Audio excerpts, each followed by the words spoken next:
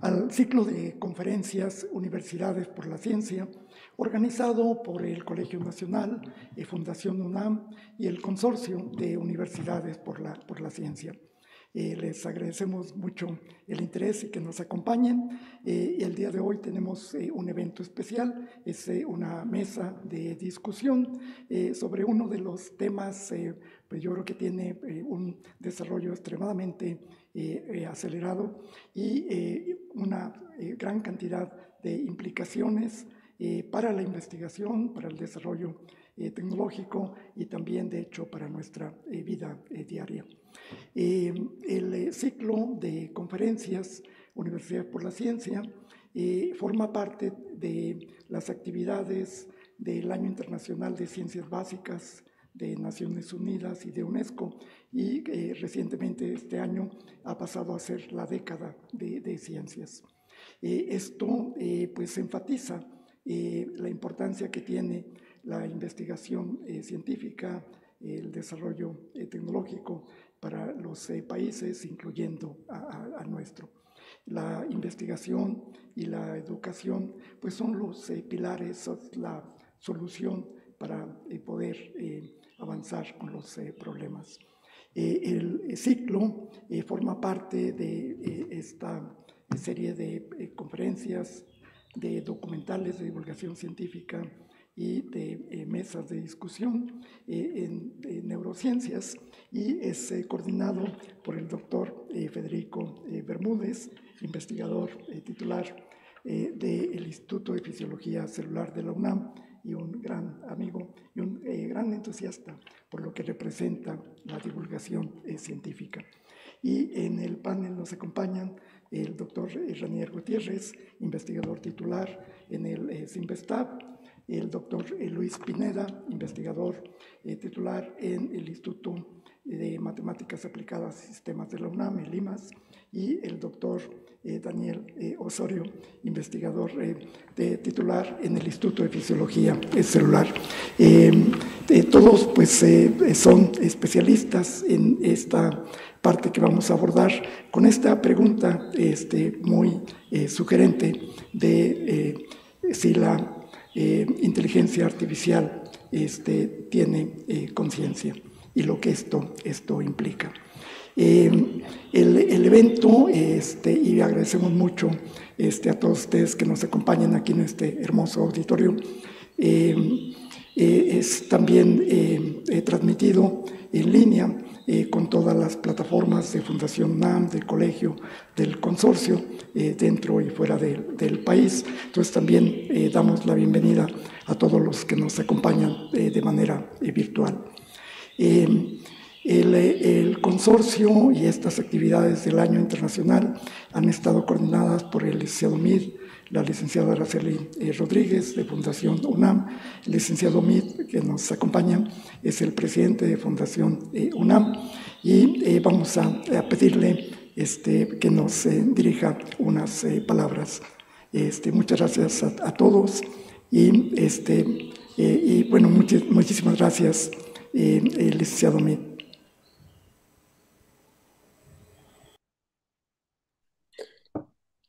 Pues buenas tardes.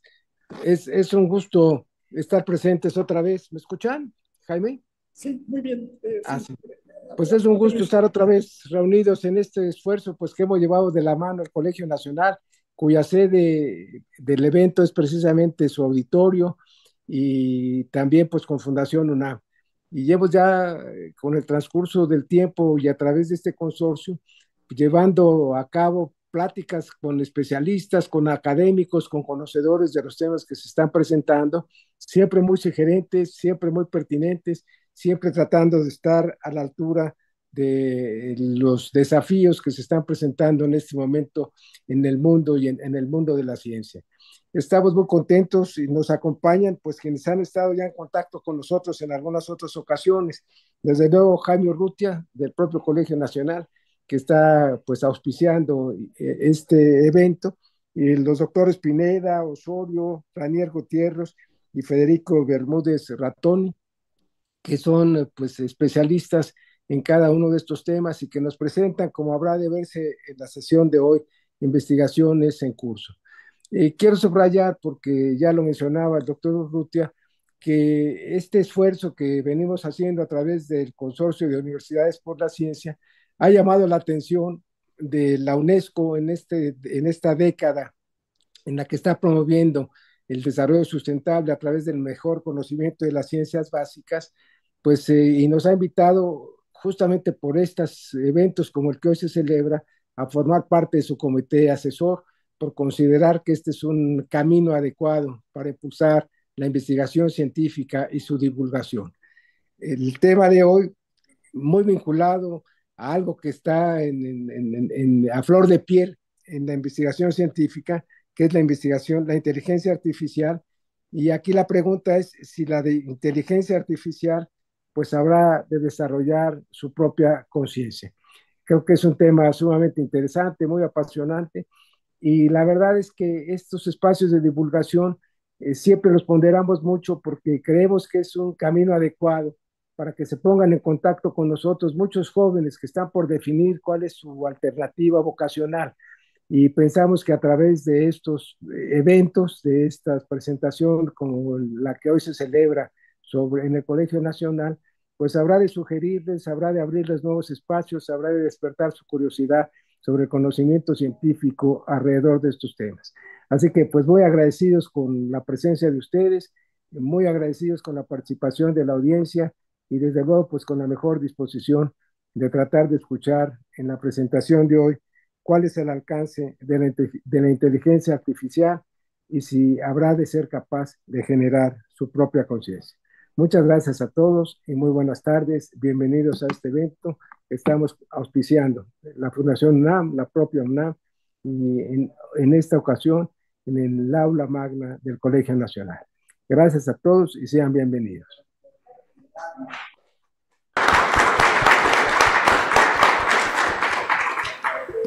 Eh, muchas, eh, muchas gracias. Y em, em, este ciclo de conferencias está ya en su cuarto año, iniciado por eh, la presidenta del consorcio, Araxi Rutia, y este, pues estamos realmente muy contentos de haber ampliado esta forma tan importante eh, en los sitios a donde, a donde llegamos. Eh, enviamos un saludo al sistema de bachillerato de la UNAM, a las preparatorias SH, a las eh, sedes eh, de la UNAM en el extranjero, San Antonio, Tucson, Chicago, ahora también de Canadá, Reino Unido, España y, Brasil. Entonces, muchísimas gracias a, a todos. Y para iniciar, pues pasamos aquí el coordinador de la mesa de discusión y de este ciclo de conferencias. Es un gusto este, que nos acompañen todos ustedes y bueno, adelante, eh, doctor Bermúdez. Muchas gracias, Jaime. Eh, muchas gracias a todos los asistentes y a los que nos están viendo a través de las redes de, de TV UNAM y de, de, la Fundación UNAM. Muchas gracias a todos y es un placer para mí, este, bueno, ya, ya los presentaron a los, a los, a los que vamos a discutir. Eh, para mí es un gran placer, además, estar aquí en el Colegio Nacional, que es un ámbito muy académico y muy propicio para esta discusión. Quisiera nada más eh, hacerles una anécdota, cómo empezó esta, esta idea de, de desarrollar esta mesa que ya tiene algún tiempo.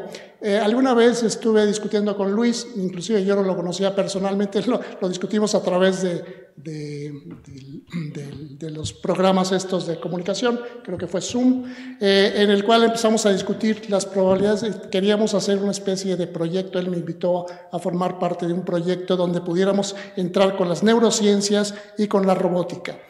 Eh, entonces, este, platicándonos, pues algunas cosas no nos entendíamos muy bien. él tenía sus definiciones, en neurociencias hemos llegado a otras definiciones. Entonces dijimos, bueno, ¿por qué no nos vamos juntando para discutir, para discutir realmente estas diferencias, en qué podemos estar de acuerdo, en qué no podemos estar de acuerdo? Y de ahí surge esta, esta discusión y queremos hacerles partícipe de nuestra discusión, porque ninguno de nosotros vamos a poder contestar en esta ocasión si la inteligencia artificial va a desarrollar conciencia o no. La verdad es un tema más allá de las fronteras y precisamente por eso creemos que es muy importante empezar a discutirlo. Lo vamos a empezar a discutir, pero obviamente no, no, no, considero, no considero que les vamos a dar soluciones a este problema tan complicado y tan difícil que de suyo es el problema de la conciencia y obviamente de la inteligencia artificial. Entonces, para empezar, nada más quisiera yo eh, hacer unas pequeñas definiciones de lo que es eh, la conciencia.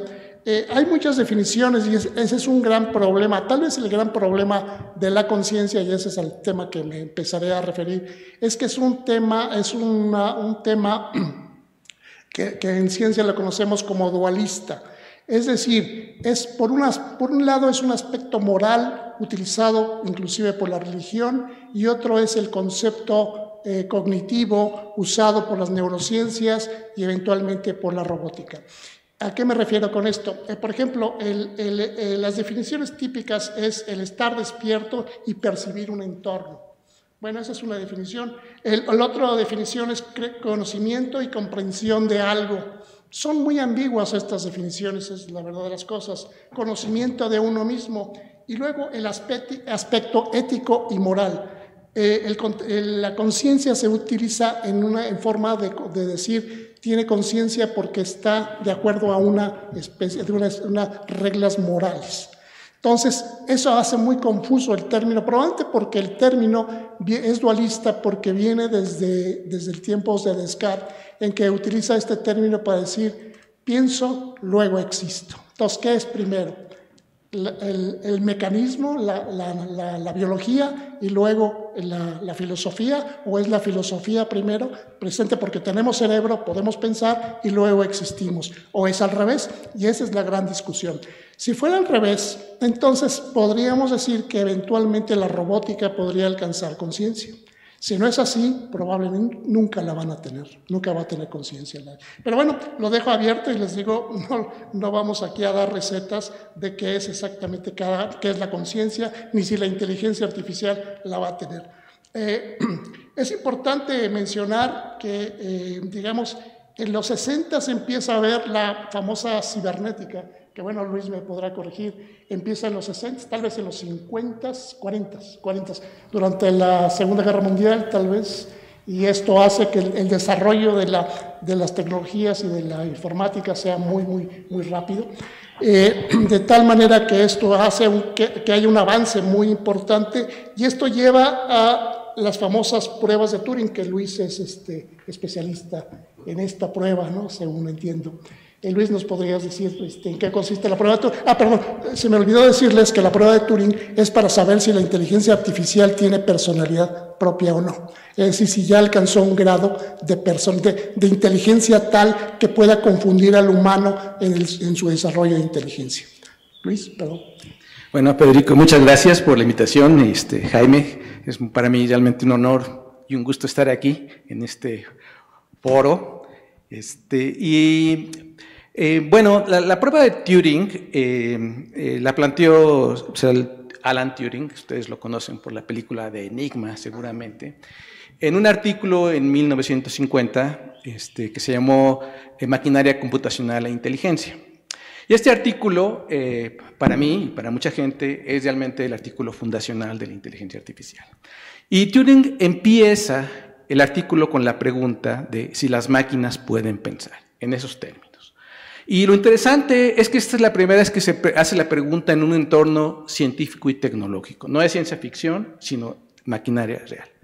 Ahora, el problema con esta pregunta es que qué es máquina y qué es pensar son dos grandes preguntas. Y para darle contenido a la pregunta, se requiere aclarar los dos términos y Turing va directamente a los dos. Y dice, yo por máquina entiendo a las computadoras digitales.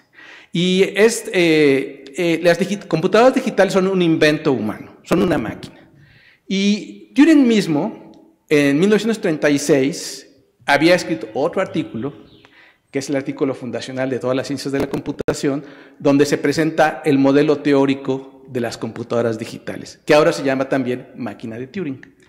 Este, y todas las computadoras que hay, todas, eh, físicas o conceptuales son equivalentes a un al modelo de la máquina de Turing. Y por lo mismo, la máquina de Turing define el concepto de computabilidad. O sea, no es una cuestión natural, es un invento humano, es una máquina, que conocemos perfectamente bien. Ahora, este, Turing es muy claro en que los seres humanos este, no somos máquinas, lo aceptaron en el artículo. Porque si los seres humanos somos máquinas y nosotros pensamos, entonces ya hay máquinas que piensan y entonces ya la pregunta pues, carece de, se vacía de contenido completamente. Entonces es la primera parte, las máquinas. Ahora, por pensar, Turing analiza, bueno, pensar tiene que ver con eh, eh, buscar explicaciones, abducir, tomar decisiones, planear, razonar, este, eh, y todo esto, este, aprender. Y cuando hacemos todas estas funciones, estamos también entendiendo. Y cuando estamos entendiendo, estamos siendo conscientes.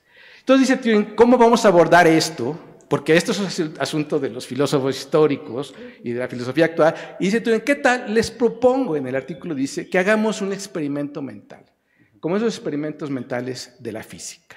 Y ese experimento mental eh, es una prueba operativa del pensamiento. Hay un entorno donde hay varios entes que tienen que realizar ciertas tareas. Y en particular, uno de los entes tiene que realizar una tarea tal que por el diseño del experimento, si la logra realizar, nosotros tenemos que conceder que esa máquina piensa. Y entonces Turing, ese escenario, lo introdujo, le llamó el juego de imitación. Y el juego de la imitación es nada más este escenario, como lo presentó Turing, es muy divertido, de hecho es muy bonito, eh, pero es el escenario donde hay una computadora que está disfrazada, que nosotros la vemos y no sabemos qué es una computadora, y de hecho creemos que es un ser humano. Y entonces la computadora empieza a hablar con nosotros, el juego es a través del lenguaje, y nos quiere convencer de que es un ser humano, menos como Pinocho más o menos.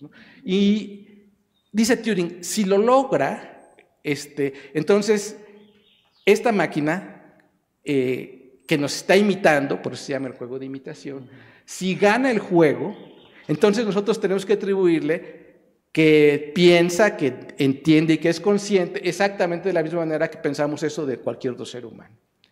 Entonces Turing dice este, eh, que si la, la máquina pasa la prueba, es consciente. Ahora, el problema es que tiempo después, hubo otro experimento mental que se llama el, cuarto chino, por el filósofo eh, norteamericano John Searle en la Universidad de Berkeley, donde con otro eh, experimento mental, con otra situación, este, eh, otra prueba operativa, nos muestra que si las máquinas pasan la prueba de Turing, por las condiciones del experimento, no son conscientes.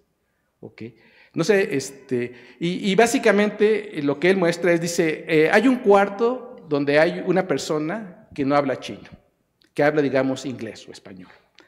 Y en ese cuarto hay unas tablas que le permiten traducir símbolos en chino a símbolos este, en chino. Y esta persona sabe, eh, recibe por una ventana símbolos en chino, ve la tabla, y ve el, símbolo que le corresponde y tiene ahí un cesto donde hay símbolos en chino, los agarra y los saca por la otra ventana y entonces traduce símbolos en chino a símbolos en chino, pero como él no sabe chino ni entiende ningún símbolo de chino, no sabe nada, entonces él no entiende lo que está pasando. Pero resulta que en este experimento, fuera del cuarto, hay una persona que es hablante nativo del chino y cree que es chino perfecto el que está entrando y saliendo. Entonces, y, como sabemos que esta persona no habla chino, entonces sabemos que ni piensa ni entiende, sino hace una operación mecánica. Entonces, no entiende. Entonces, lo que muestra Searle aquí es que el procesador, o sea, la maquinaria computacional que manipula los símbolos, es este señor que habla inglés pero no habla chino, que puede manipular símbolos perfectamente, haciéndonos creer que es chino perfecto sin entender nada. Ahora, el problema con Searle al final es que al final su artículo dice, bueno, y piensan las, pueden las máquinas pensar, dice, claro que sí, nosotros somos máquinas y nosotros pensamos. y nada para terminar, entonces la moral es esta, o sea, este, las máquinas eh, no pueden eh, pensar, nosotros sí, pero el problema entonces, eh, ¿quién tiene conciencia? Bueno, pues de alguna manera, lo que yo creo es que las máquinas no la pueden tener, porque la conciencia requiere un sistema nervioso suficientemente desarrollado, que no lo tienen, y podríamos nosotros aumentar el, programa de Turing para eh, que tuvieran conciencias, tal vez podemos aumentarlo, pero si nosotros no sabemos en última instancia lo que es la conciencia, no le podemos dar a las máquinas, no pueden ser conscientes, y de hecho si descubriéramos la, es la conciencia y se los diéramos a las máquinas, entonces las máquinas ya no serían máquinas, ya serían otra cosa.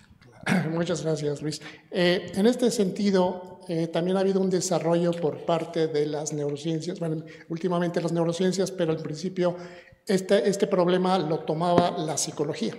Desde William James ya este problema era, era vigente en la psicología y después pasó con el, con el desarrollo de las neurociencias a formar parte de una pregunta de frontera en las neurociencias. Entonces, eh, tenemos dos, eh, eh, digamos, dos personas que han trabajado, uno que es Ranier Gutiérrez, que ustedes conocen, y Ranier ha trabajado en, en parte en la, dentro de las neurociencias en algo que conocemos como neurofisiología. Son las redes neuronales y cómo esas redes neuronales funcionan y qué parecido, y esa sería la pregunta que le haría a Ranier en, un momento, cómo funcionan estas redes neuronales y qué le faltaría para saber si estas redes neuronales pueden alcanzar la conciencia. Por otro lado, tenemos a Daniel, que Daniel ha estado trabajando mucho tiempo, eh, no en la neurofisiología, sino en la neuroquímica cerebral. Y aquí hay una combinación entre neuroquímica y neurofisiología, o sí, neurofisiología, eh, o electrofisiología, mejor dicho, que podríamos combinar y esto podría ser lo que, lo que dé, digamos, el cambio cualitativo para entender lo que es la conciencia. Desde luego, como les decía yo en un principio, eh, el, el, término y el tema y la definición no es muy clara, ni siquiera para los, los, psicólogos ni los neurocientíficos, porque es, como les digo, muy ambigua y no tiene una claridad muy para todos y, cómo definimos eh, conciencia. Entonces, eh, le doy la palabra a Ranier para que nos explique un poco desde la parte electrofisiológica y y de, almacenamiento de datos en el cerebro, cómo, cómo sería la posibilidad de que la conciencia pudiera estar en alguna parte del cerebro. Por cierto, eh, tal vez me voy a permitir entrar, o no sé si tú quieras comentar, o Daniel, sobre el, cómo llegaron algunos eh, eh, filósofos de, a, concluir con la Declaración sobre Conciencia de Cambridge. Ya una vez hubo una reunión de muchísimos investigadores en Cambridge, justamente, donde se reunieron para tratar de definir lo que era conciencia. ¿Cuáles son los aspectos mínimos que tendrían que tener los animales, la biología en este caso, para poder tener conciencia? Eh, no sé si Daniel o, o Ranier quieran comentar eh, sobre esta declaración de Cambridge. Bueno, muchas gracias por la invitación. También es un placer estar acompañado de todos ustedes y sobre todo en este gran foro que es el Colegio Nacional. Eh, pues sí, realmente la búsqueda por entender la conciencia no ha sido sencilla. Desde hace mucho tiempo se ha tratado de investigar cómo es que los humanos podemos, incluso de manera muy sencilla, a lo mejor reduciéndolo a lo simple, percibir las cosas. Entonces hay experimentos desde psicofísica bastante simples en los cuales cambian la intensidad de los estímulos y le preguntan simplemente al sujeto cómo es que percibes este cambio en la intensidad del estímulo o si lo percibes o no. Ahí estamos hablando únicamente de percepción. Sin embargo, como ya lo hemos tomado, la conciencia es mucho más complejo que eso.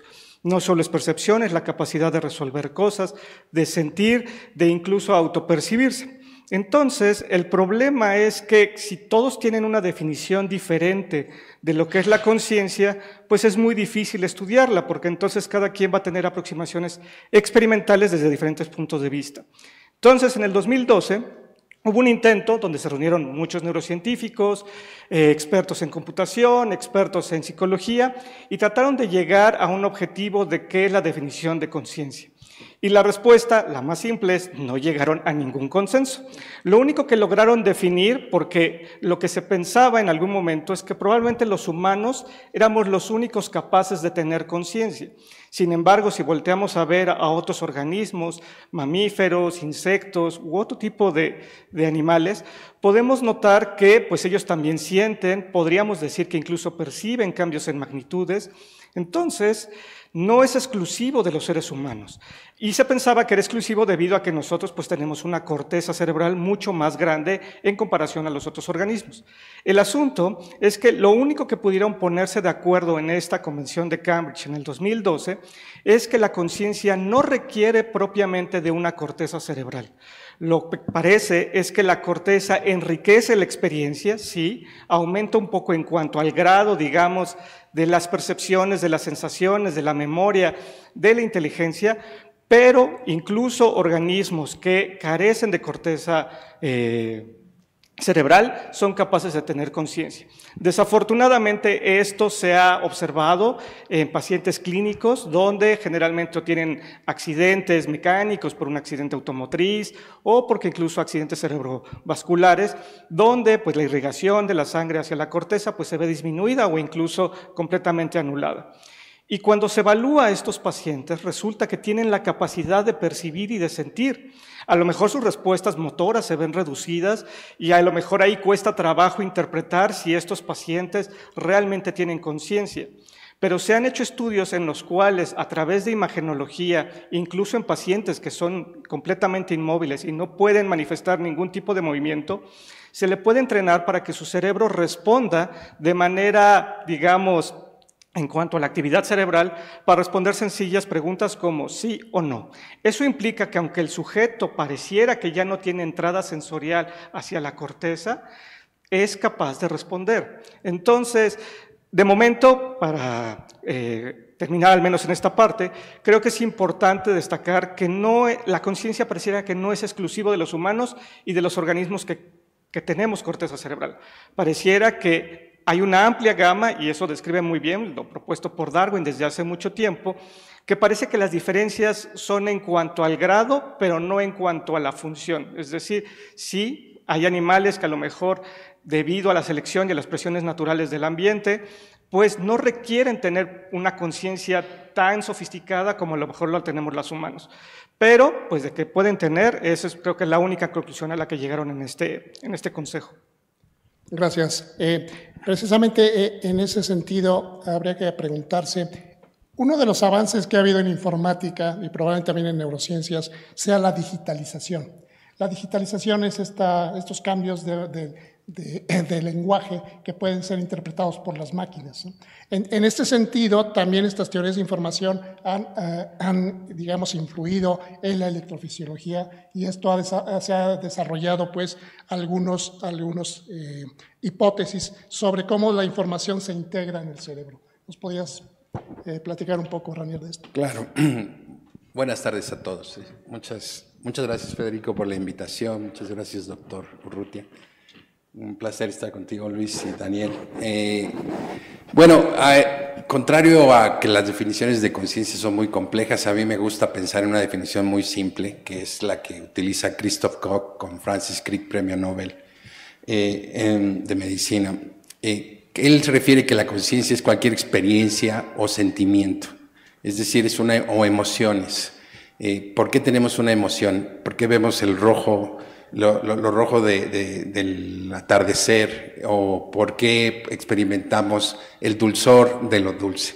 ¿no? Cuando comemos algo dulce sentimos esta experiencia placentera de, esto es delicioso, esto es dulce, y esa sensación es precisamente consciente.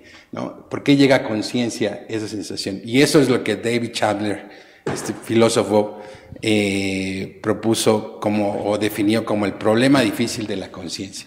¿Para qué tenemos esa experiencia de, sentir el dulzor de, lo dulce? ¿no? Ah, y ahora estoy completamente de acuerdo con Daniel sobre eh, que no es el problema de la conciencia, tal vez no sea un problema definido o restringido a los humanos. Probablemente muchos animales también lo están experimentando, porque muchos de ellos ah, tienen la capacidad de aceptar azúcar o, de, cuando le damos un sabor amargo, de boquear y tratar de sacar ese estímulo que es desagradable. ¿no? no sabemos si sienten exactamente lo mismo que nosotros o lo que yo siento. Espero que todos los demás también sientan lo mismo que yo.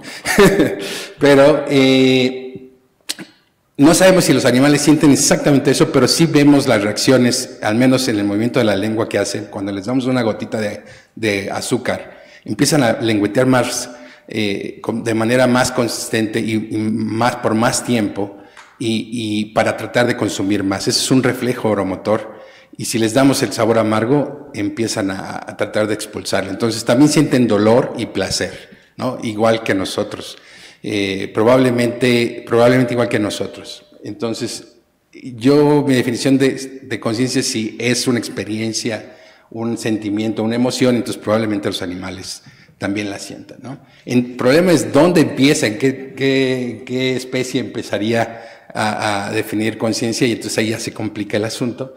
Este, pero uh, otra, otra, cosa, otra cosa importante es, es que probablemente cualquier organismo que necesite moverse eh, para obtener energía del ambiente y re requiera conciencia para lograrlo. O sea, porque moverse es una tarea difícil en la vida real, te pueden matar, puedes caer en un precipicio.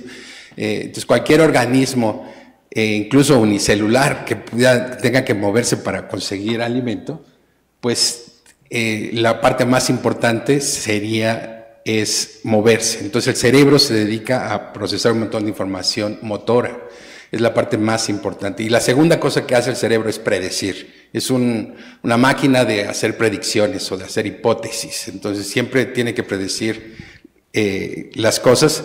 Y eso tiene mucho sentido porque si no pudiera el tenista predecir el movimiento de la pelota y se quedara ahí hasta que le llegue el estímulo, pues obviamente ya va a ser demasiado tarde y le va a pegar la pelota en la cara. ¿no? Entonces tiene que predecir los movimientos y eso es lo que está haciendo el, el cerebro. Entonces, ¿qué tiene que predecir? Cosas que le produzcan energía, que le den energía o recompensa y evitar eh, morir en el intento. ¿no?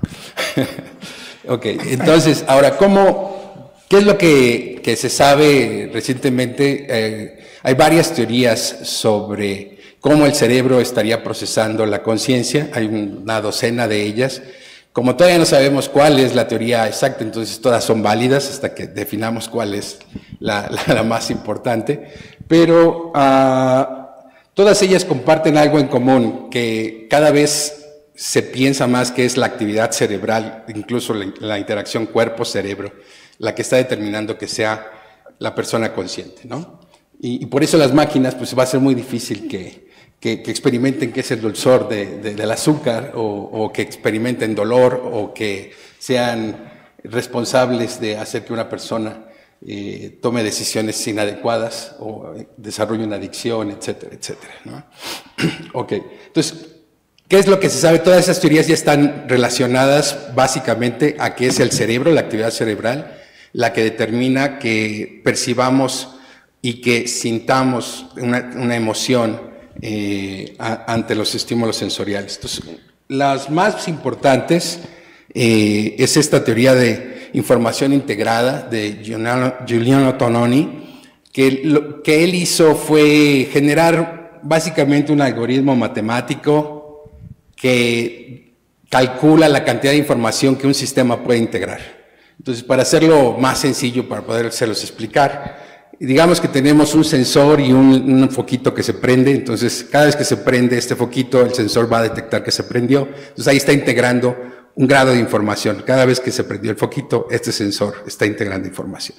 Entonces, si ese sensor ahora lo hacemos una matriz de, de píxeles, entonces se vuelve una especie de fotografía, ¿no? Un sistema que detecta los fotones de una foto estática. Entonces, esa matriz ahora va a integrar más información que el primer sensor.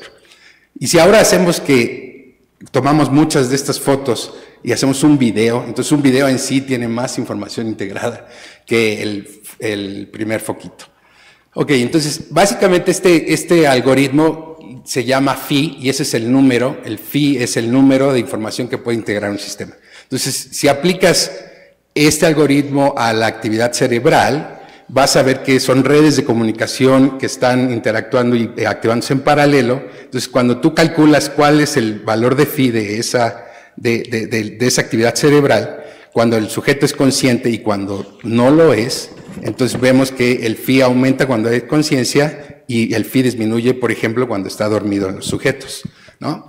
Entonces, ¿por qué es esto importante? Porque ha sido importante eh, Christopher Koch han utilizado esta, esta medición para medir pacientes en estado vegetativo y donde es difícil saber si la persona realmente está ahí, sigue, sigue ahí o, o, ya no está ahí. Entonces hay que decidir, tomar una decisión de desconectarlo o no.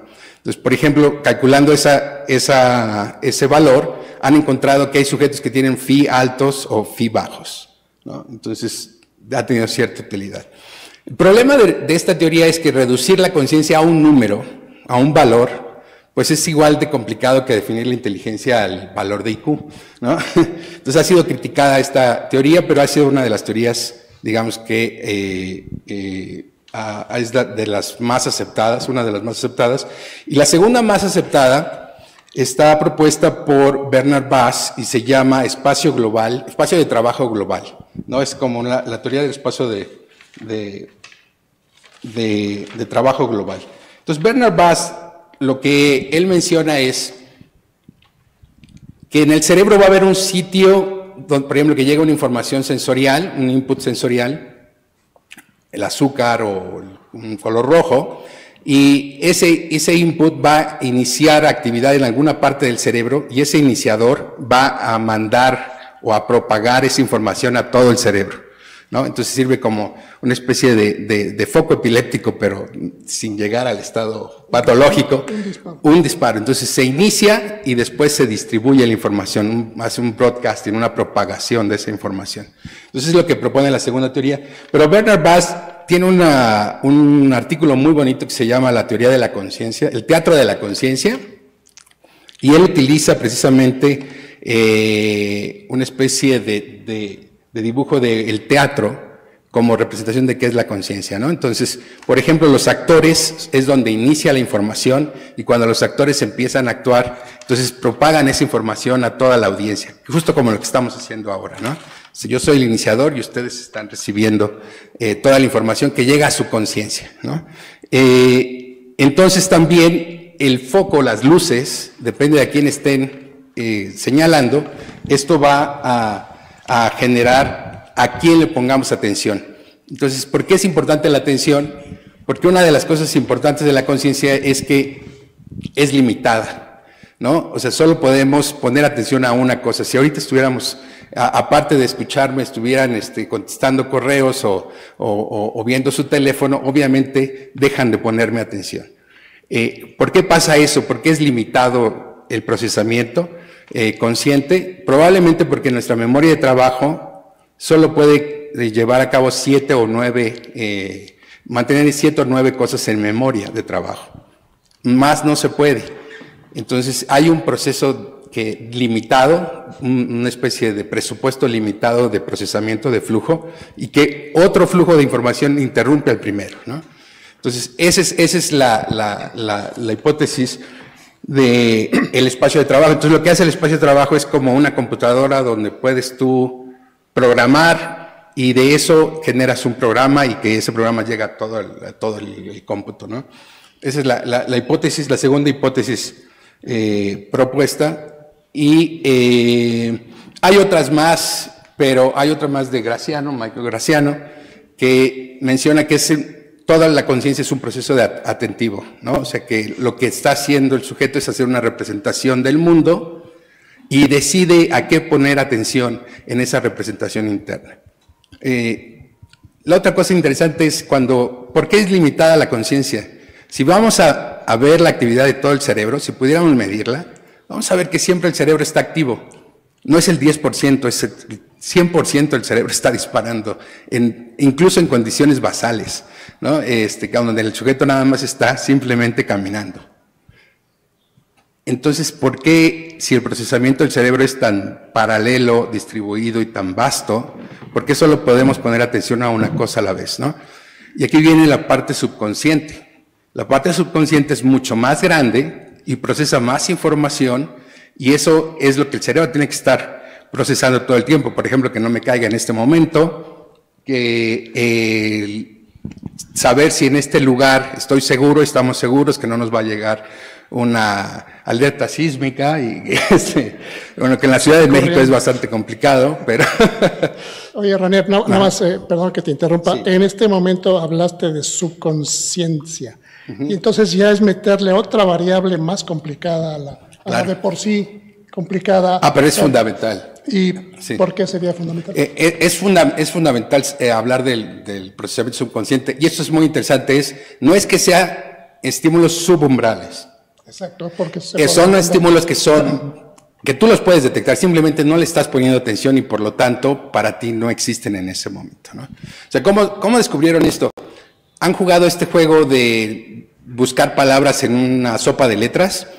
Bueno, resulta que las letras que no tienen información, que no, tienen, no forman ninguna palabra, si no las mueves y sigues poniéndolas en las siguientes páginas y mires el tiempo de reacción de las personas, vas a darte cuenta que al principio se va a tardar mucho en encontrar las letras.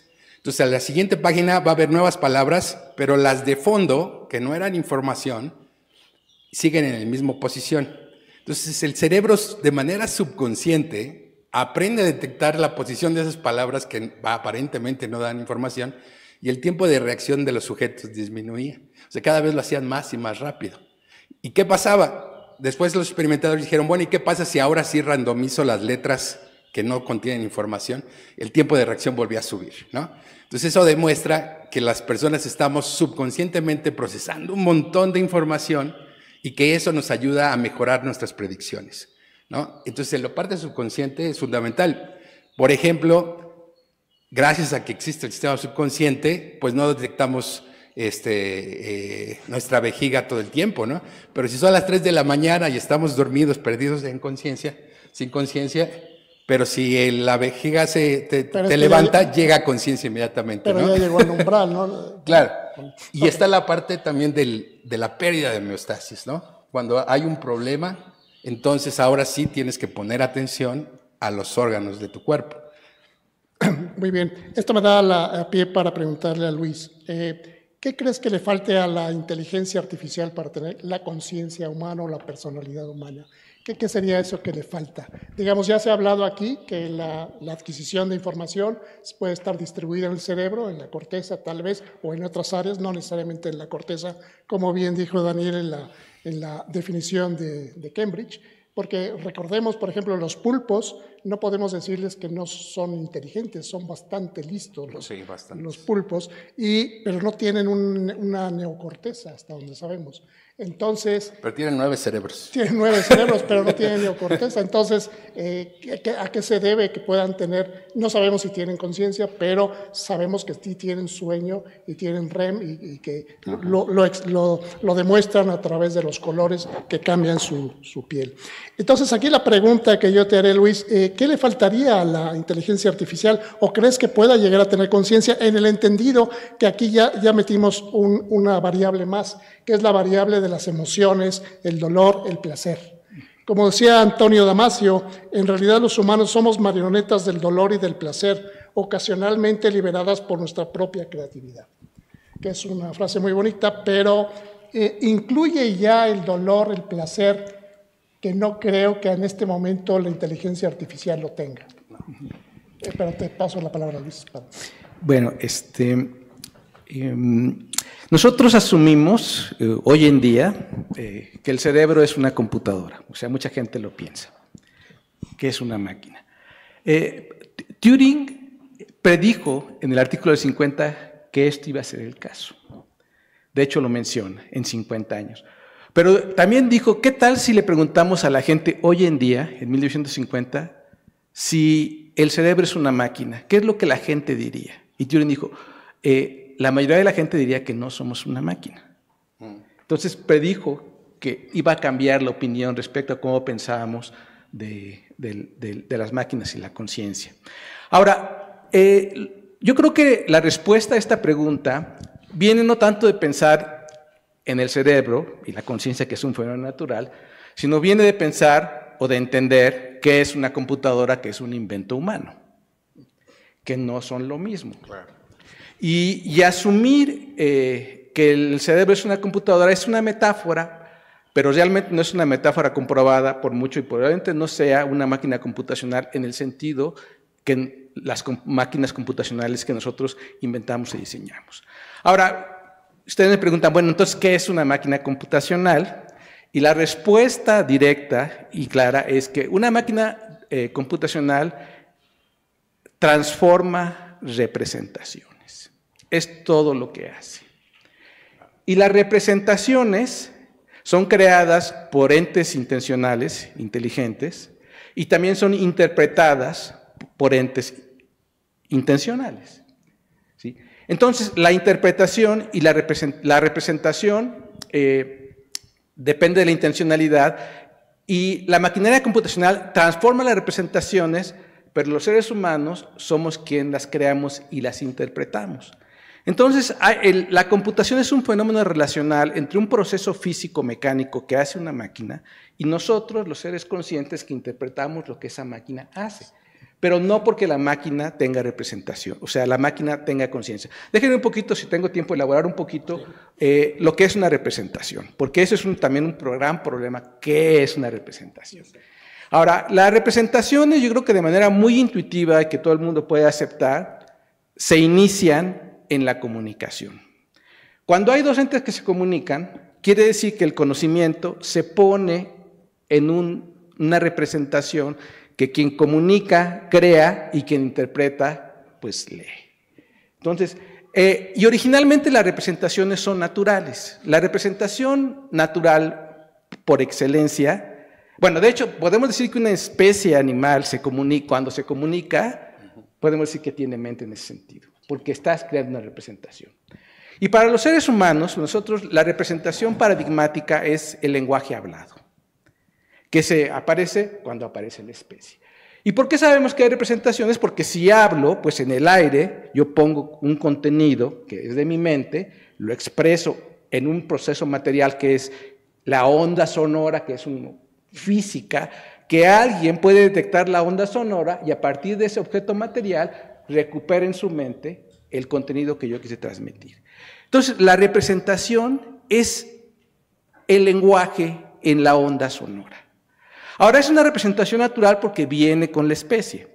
Como la comunicación entre los animales es una representación, utiliza representaciones naturales.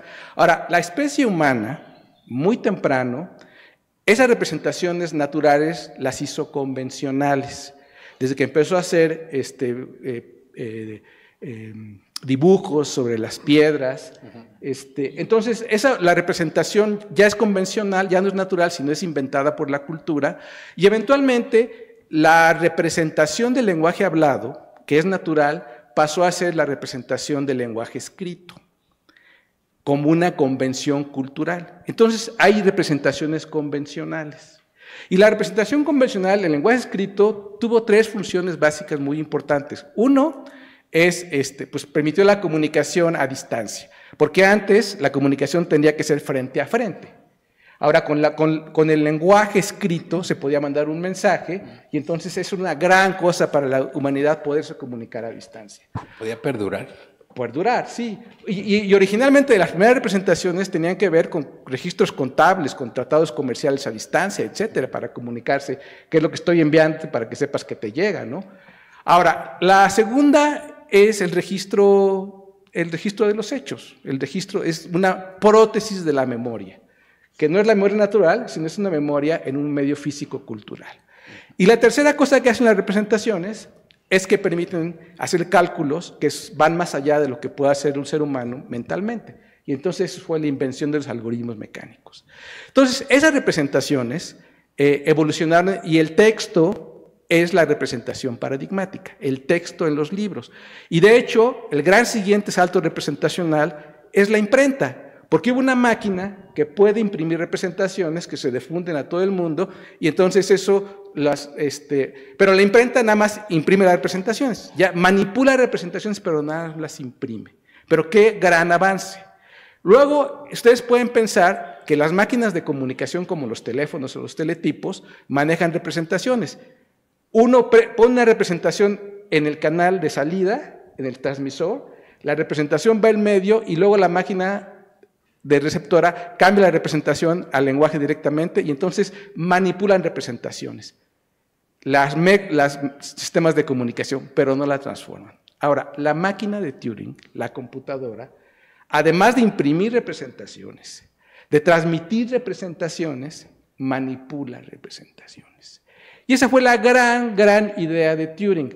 Porque las primeras computadoras, la primera computadora universalmente conocida, que era universal, era la computadora de Babbage, que se hizo en Inglaterra a mediados del siglo XIX, que las representaciones se hacían con engranes y eran como los relojes. O sea, yo veo un reloj y veo la posición de las manecillas y entonces interpreto el tiempo.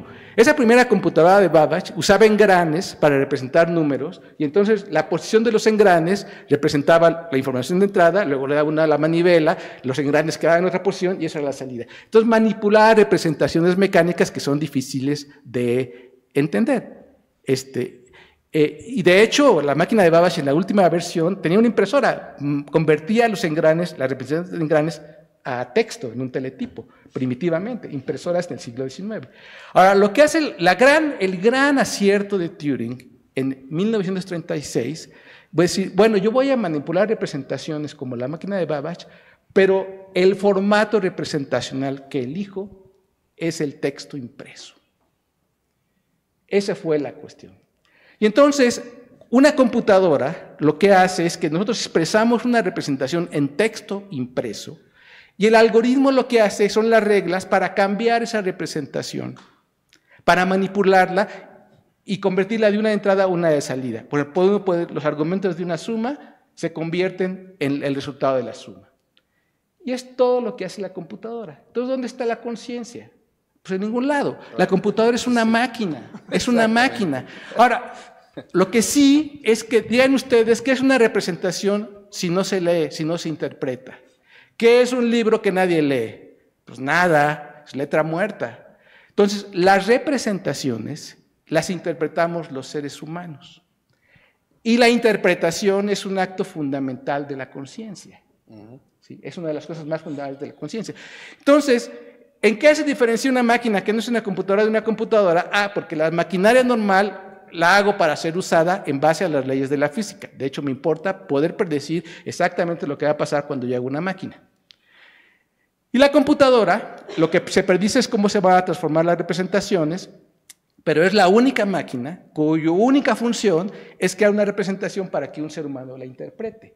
Entonces, yo digo que no hay computación sin representación, pero tampoco sin interpretación. Son las dos condiciones. Y eso es parte de la conciencia. Y entonces resulta que el concepto computacional, un proceso computacional, es un concepto relacional entre una máquina, que, hace que es como cualquier otra máquina, que es un trabajo perfectamente mecánico y definido. Es como un cuarto chino, ¿no? Sí, es el cuarto chino. Y el ser humano que hace la interpretación. Y entonces eh, hace, digamos, eh, la, conciencia interviene porque es una relación entre el ser humano y la, y la representación. Entonces, por eso la conciencia queda de lado de los seres humanos, porque la máquina es una máquina. Y por eso también vuelvo a la primera de la pregunta tan importante de cómo distinguimos una máquina de algo que no es una máquina. ¿sí? Y entonces lo importante es ahí.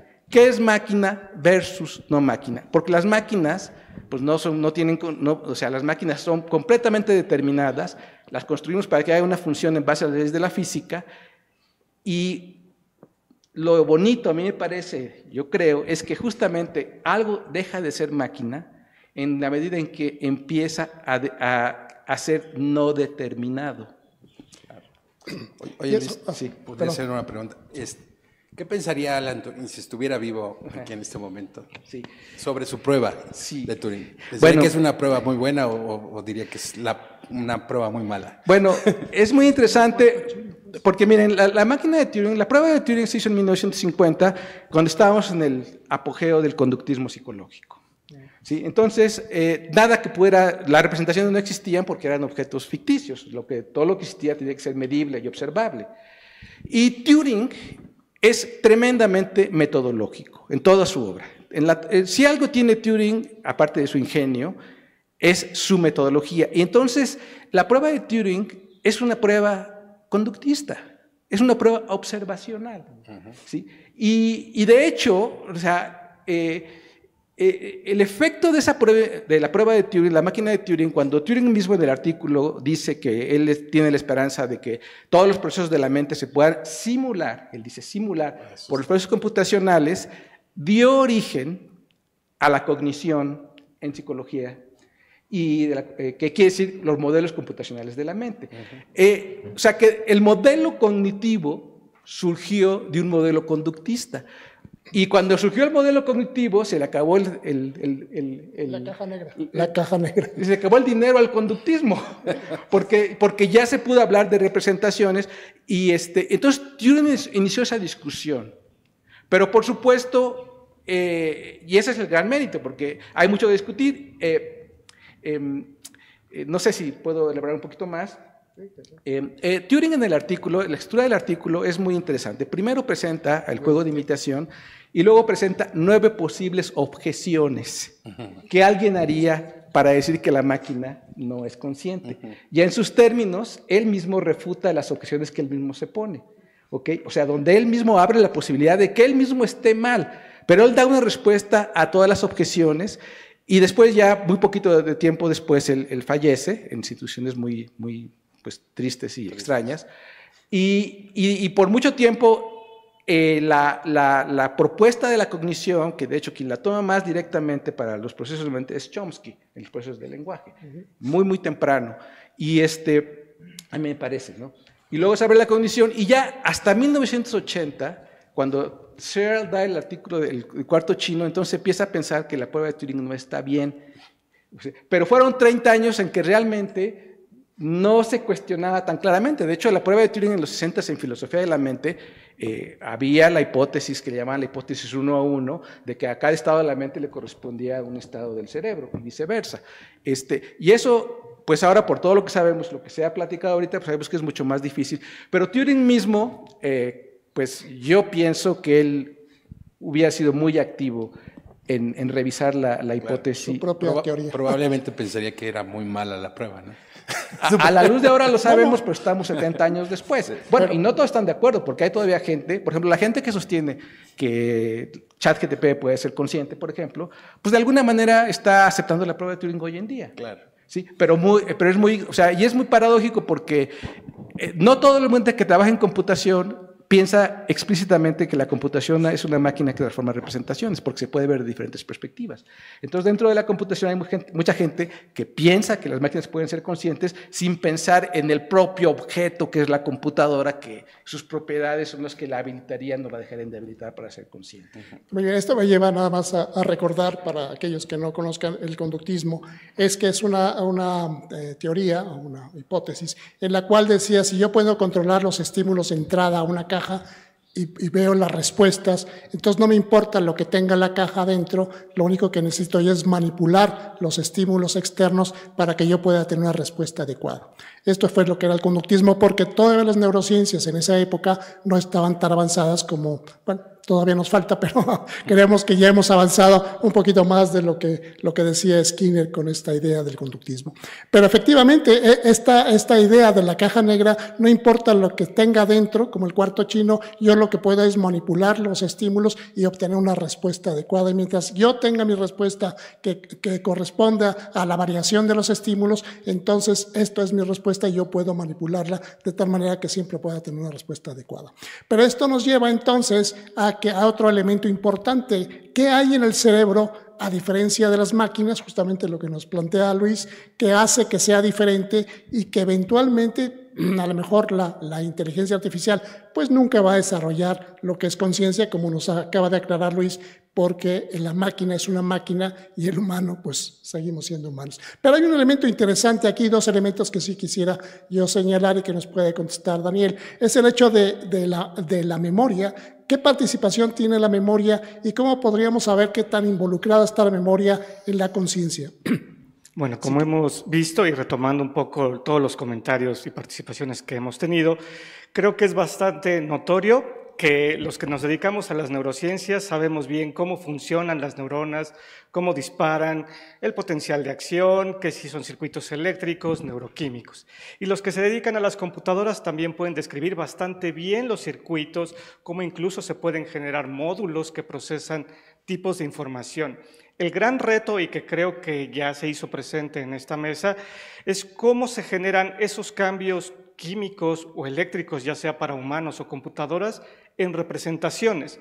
Y si tomamos en cuenta que una representación podría ser precisamente algo analógico a una memoria, entonces la propuesta podría ser que las memorias, y sobre todo un tipo particular de memoria, sería probablemente el centro, a lo mejor estamos siendo muy atrevidos al decirlo, pero el centro de la conciencia. Y este tipo de memoria tiene que ver con una memoria declarativa. ¿Y por qué es declarativa? Como ya lo mencionado Luis, el lenguaje es fundamental. El lenguaje nos permite escribir, enviar un mensaje que incluso pueda recorrer varias distancias o kilómetros y que éste pueda ser impreso en otro lado y que otra persona lo entienda. Entonces, en algo similar es la memoria declarativa, es algo que nosotros podemos declarar. Ahora, la memoria declarativa, curiosamente, tiene dos subtipos. Uno de ellos es la semántica que todo mundo conoce, que es prácticamente la que estudia en la escuela, que es la capital de un país, que cuál es la moneda de otro país, ese tipo de información que aprendemos en la escuela.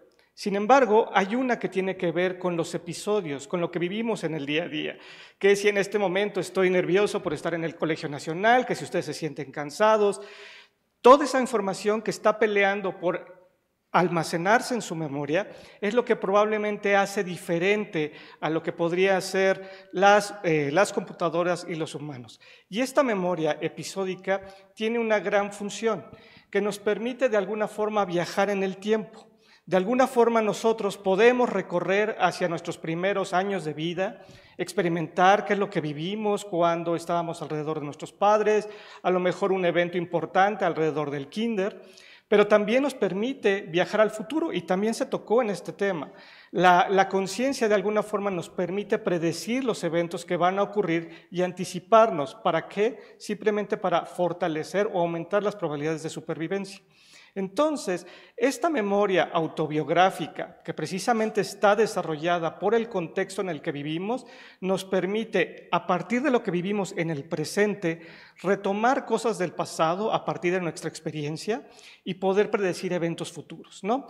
Entonces, y eso coincide bastante bien con lo que han mencionado. Eh, por ejemplo, ¿no? las máquinas tienen que de alguna forma interactuar con los objetos para precisamente poder generar representaciones. En el caso de los animales necesitamos experimentar dulzor, placer, eh, dolor, todo ese tipo de experimentaciones van construyendo a lo largo de nuestro desarrollo y van de alguna forma aumentando, disminuyendo las probabilidades de que nosotros ejecutemos una conducta. Pensemos que no todos vamos a responder de la misma forma, mientras que probablemente las computadoras sí responden de manera similar ante el mismo estímulo. Pensemos el color rojo. A lo mejor en el momento en que le preguntamos a una computadora sobre este color, responde inmediatamente. Sin embargo, nosotros como humanos o como otros animales vamos a responder de manera diferencial al mismo color, porque a lo mejor una persona relacionó el color rojo con un evento positivo, a lo mejor eh, su pareja le regaló algo que tenía un color rojo, y entonces ahora vamos a responder diferente. Entonces, esas ligeras diferencias que enriquecen nuestra experiencia, que enriquecen nuestro día a día, probablemente es lo que hace diferente y que nos da la conciencia. Ahora, hay un ejemplo muy sencillo. Por ejemplo, en cualquier lenguaje de computadora, ChatGPT o cualquiera, nosotros podemos preguntarle cualquier tipo de información, va y accede a los bancos de información y nos arroja esto, la información semántica. Sin embargo, otra vez, como ya lo mencionamos, la interpretación que le damos nosotros, la experiencia que vivimos a partir de, lo, de cómo hemos desarrollado, y eso es importante porque incluso los, los niños tienen conciencia, pero van desarrollándose junto a pares, se van desarrollando junto a sus compañeritos del kinder, junto a los compañeros de la primaria, y esas experiencias son las que van modificando. Y ya nada más como para terminar esta, esta intervención, es que ahora lo interesante de estas experiencias es que modifican precisamente cómo respondemos, que en algún momento lo dijimos como saliencia perceptual los estímulos precisamente van a ser mucho más salientes dependiendo de la experiencia previa que tuvimos con ellos. No todos vamos a responder de la misma forma. Entonces, imaginemos, o así me gusta imaginarlo, que la conciencia es una competencia entre lo que vivimos, entre lo que tenemos de manera interna, la interocepción, los estímulos que nos están rodeando y el contexto.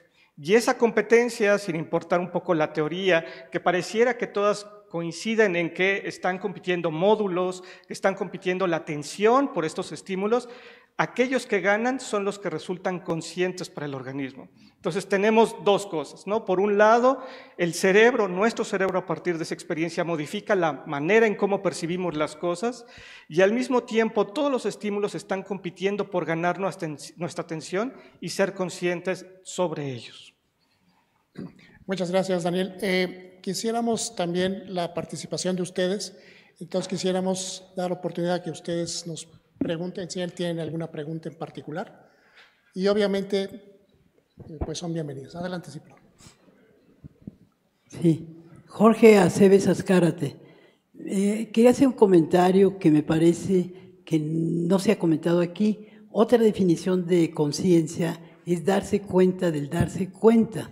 Entonces esto nos lleva a un planteamiento matemático del tipo recursivo, en términos de niveles de recursión que por otro lado nos lleva en última instancia a los teoremas de Gödel, en donde el problema se complica bastante según el nivel de recursión.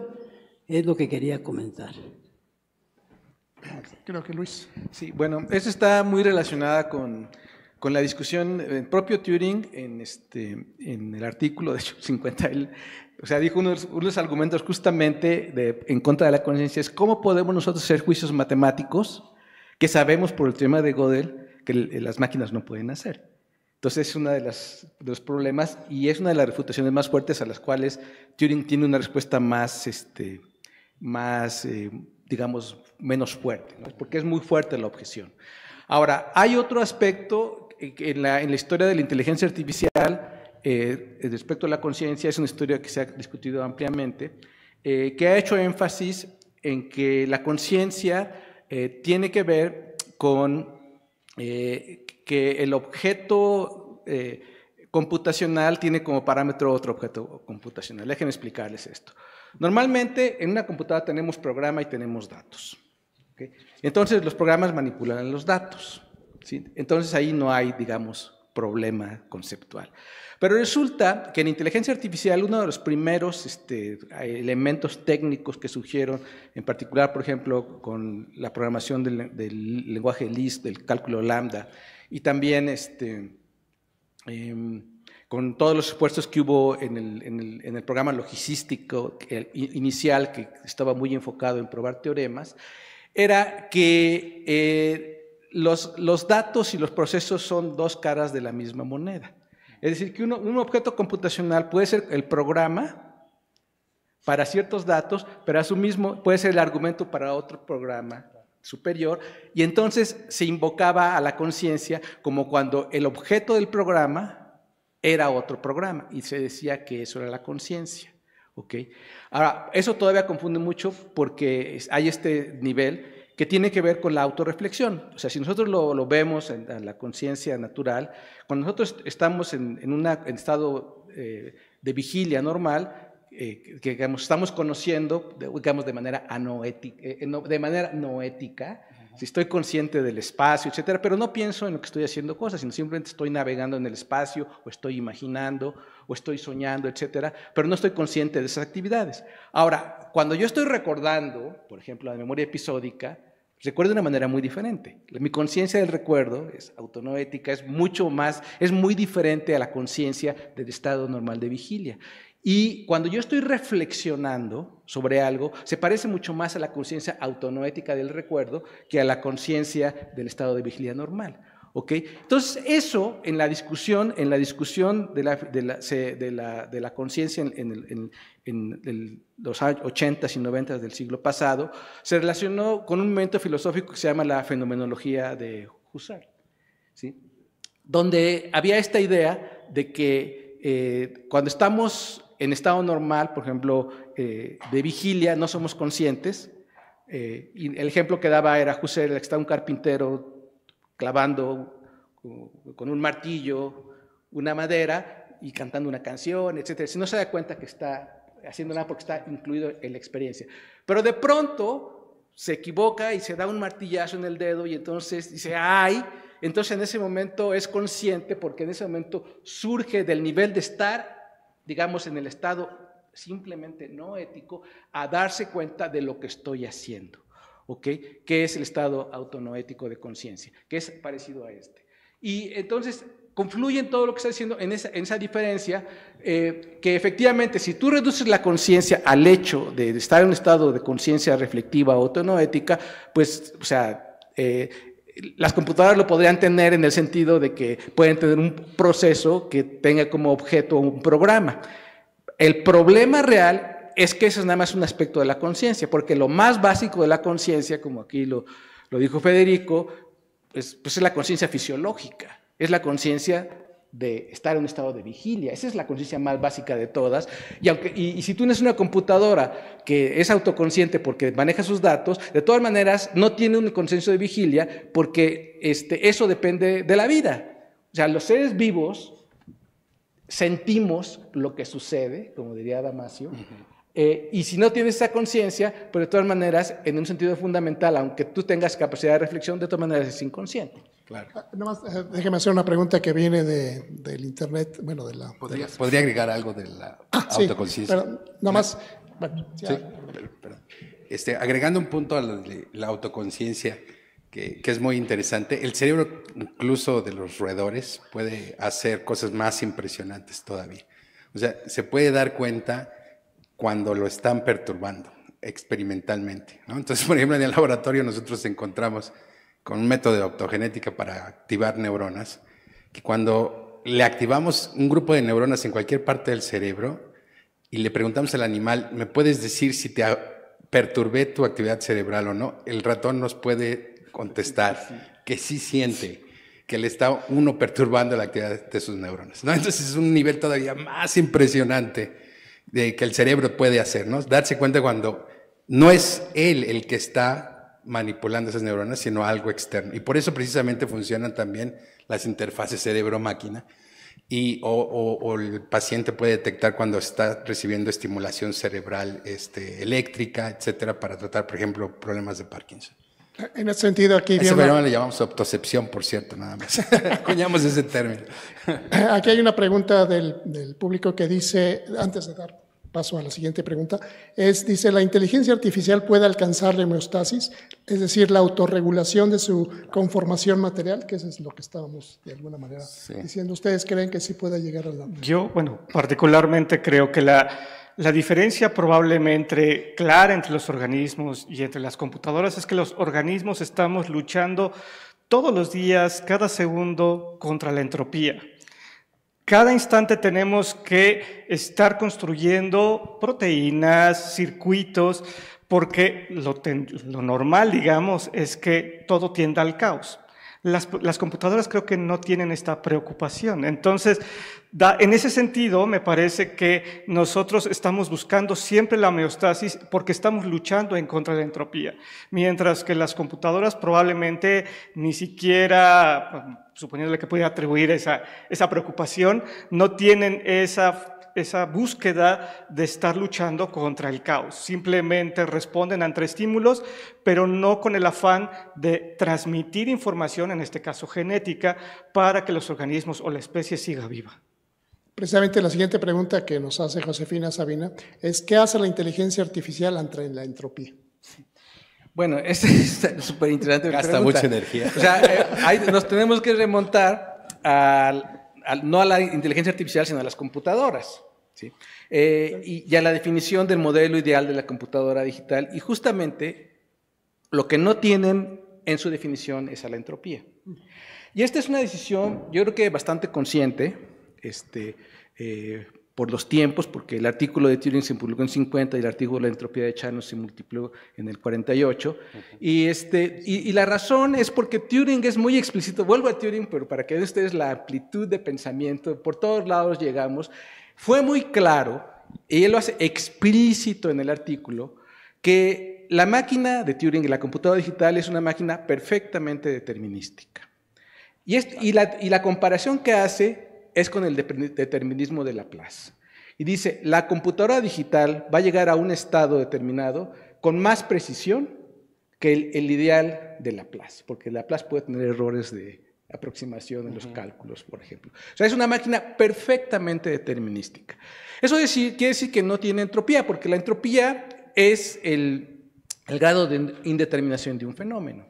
Y si uno, una máquina eh, no tiene entropía, quiere decir que está perfectamente determinada. Y de hecho, la maquinaria que nosotros hacemos, en general, tiene esta propiedad de, de la determinación, que yo digo que es la propiedad de la máquina.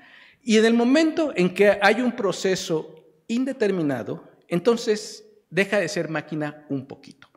Ahora, yo creo que este, justamente eh, una de las expresiones más fundamentales de la mente y de la intencionalidad es la capacidad de tomar decisiones libres. Y para tomar decisiones libres se requiere un espacio de indeterminación. Porque si todo está determinado perfectamente bien, pues entonces no hay ninguna decisión libre que tomar. Y de hecho, si todo está determinado, no es necesaria la comunicación. La comunicación obedece a cierto grado de indeterminación. Y de hecho, justamente por eso, por eso la entropía es el parámetro fundamental de la comunicación en la teoría de la comunicación de Shannon, que es el grado de la indeterminación del mundo que se refleja en la indeterminación de los mensajes. Entonces, no hay entropía, hay determinación, es máquina.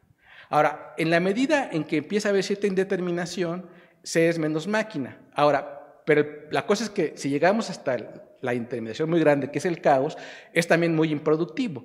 ¿Por qué? Porque eh, cuando nosotros tomamos decisiones libres, eh, y no digo los seres humanos, los organismos biológicos que tienen cierto grado de indeterminación, por más mínimo que sea, en esa medida van a tomar decisiones libres en su entorno. ¿Y por qué las toman? Porque las decisiones libres tienen una ganancia eh, un, valor para la especie, para el individuo, que no se puede tener si es determinado.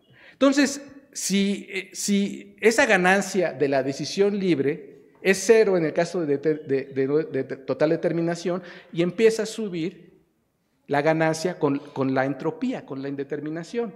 Pero si la indeterminación es muy grande y empieza el caos, entonces el valor de la decisión empieza a bajar, porque tomar muchas decisiones en un ambiente caótico no cambian las cosas. Es como cuando uno está en un, una, un temblor una pandemia, todo el mundo toma decisiones y sin embargo no pasa nada porque las decisiones tienen poca aplicación. Entonces hay un justo valor de la entropía, de la indeterminación, en donde hay una capacidad de tomar decisiones libres, donde de hecho la comunicación es posible porque nos lleva a tomar decisiones libres con cierto, cierta ganancia. Y hay un valor de la entropía en la cual es posible la comunicación. Entonces, eso sea mi respuesta ante esta pregunta. Bien, vamos a dar a continuación con la pregunta de la... Hola, muchas gracias. Eh, volviendo un poco a la definición de conciencia, yo creo que aún falta mucho para que las máquinas tengan conciencia, ¿no? Si bien la arquitectura Transformers les dio la capacidad de atención a las máquinas, la conciencia es todo un nuevo nivel de sistema em, emergente que incluye otras cosas como experiencia subjetiva, introspección, sensibilidad al entorno y voluntad. Esta última es importante porque a día de hoy ninguna de las inteligencias artificiales hace algo por su cuenta, siempre hay una orden humana detrás.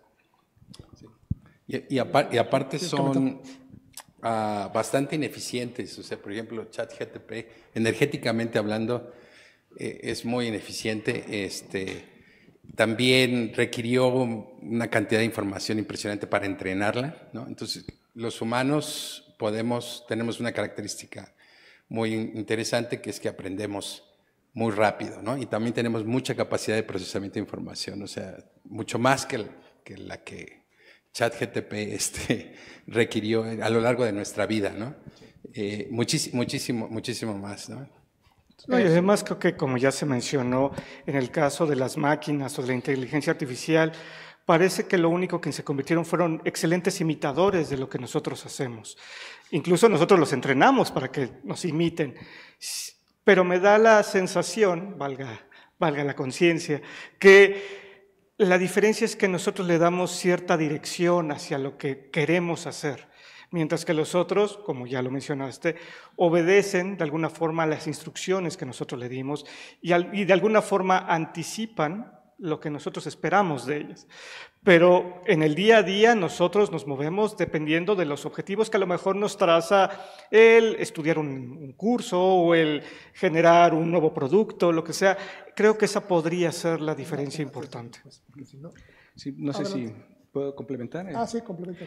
Eh, mira, eh, la agentividad tiene que ver con la capacidad de un ente de tomar un curso de acción que es, probablemente, eh, que es poco probable y que incluso es, puede ser contrario a las leyes generales de la física. Okay, las leyes de la generales de la física funcionan cuando todo está perfectamente determinado. Y en la medida que empieza a haber indeterminación, es decir, que empieza a aumentar la entropía, ¿sí?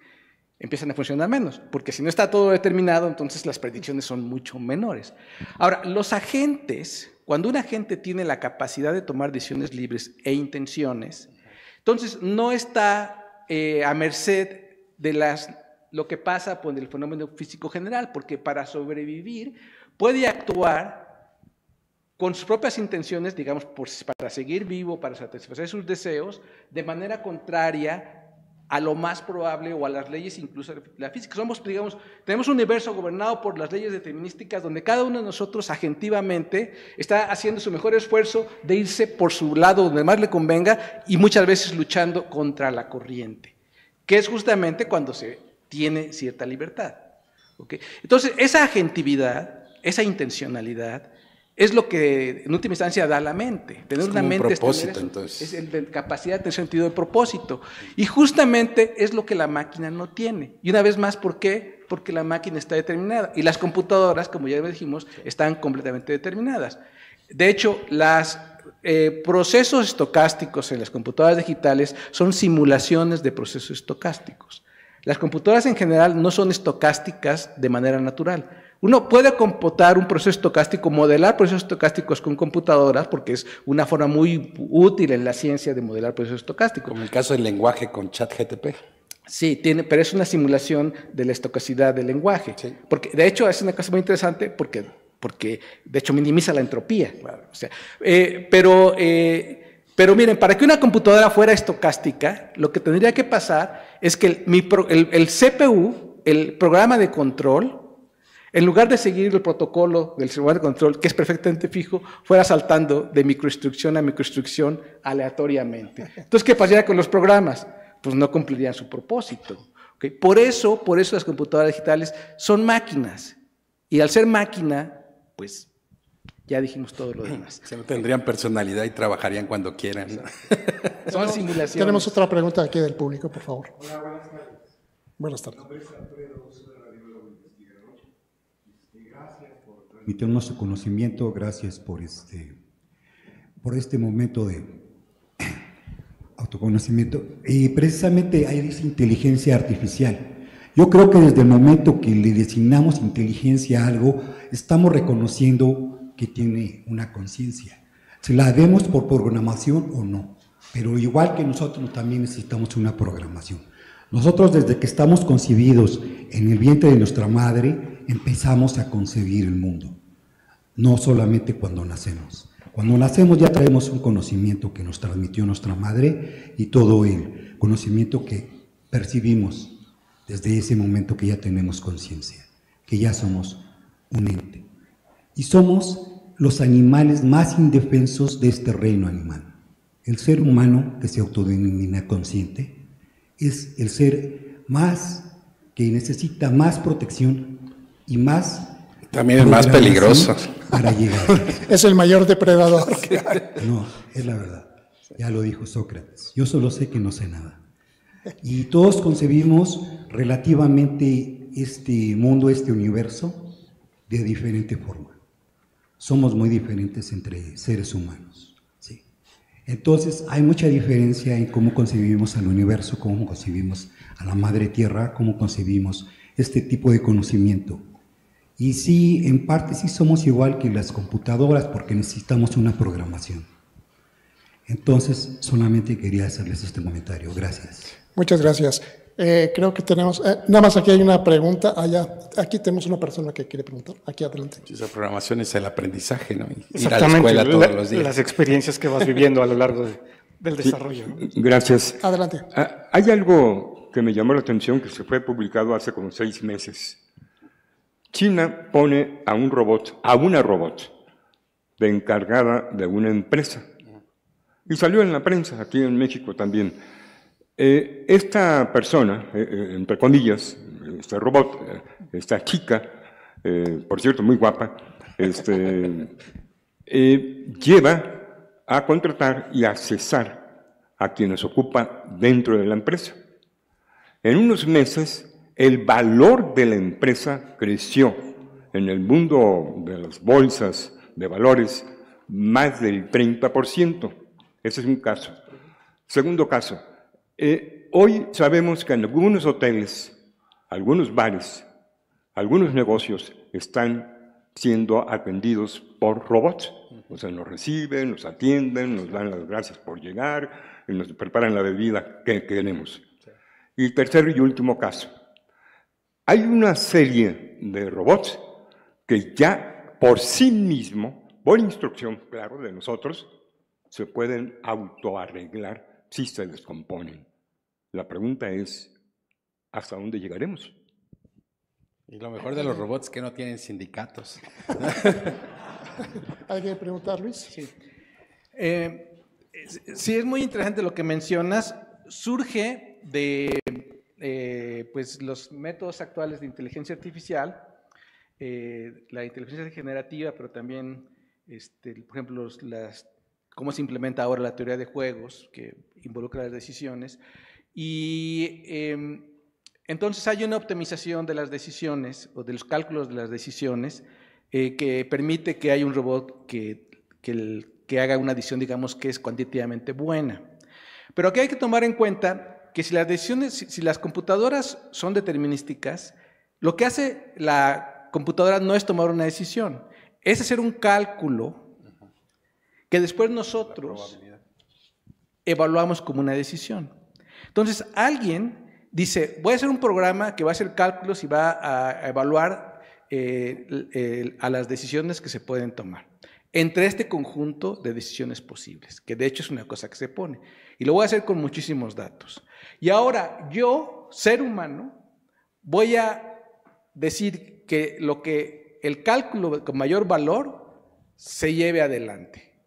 Entonces la computadora hace un cálculo numérico, un algoritmo, pero no toma ninguna decisión. Quien tomó la decisión es la persona que decidió que ese valor, independientemente de otras consideraciones que podría tomar un director de recursos humanos en cuanto a considerar las cualidades de las personas, o si las personas son hombres o son mujeres, o si las mamás tienen que cuidar a sus hijos, o si la persona está enferma, etcétera, que tomamos en cuenta, digan, no, no tomo eso porque yo quiero nada más el valor. Eso lo tomó una persona, no es la máquina. ¿sí? Porque la máquina en sí no puede tomar decisiones. Si la máquina es completamente determinística, no toma decisiones, hace cálculos. Ahora, ¿y qué cálculos hace? Justamente la computadora lo que hace es que es un amplificador de nuestra capacidad de hacer cálculos y guardar cosas en memoria de manera separadas, en como bibliotecas o cuentas de bancos o como almacenes. Amplifica tremendamente esa capacidad, pero es lo único que hace.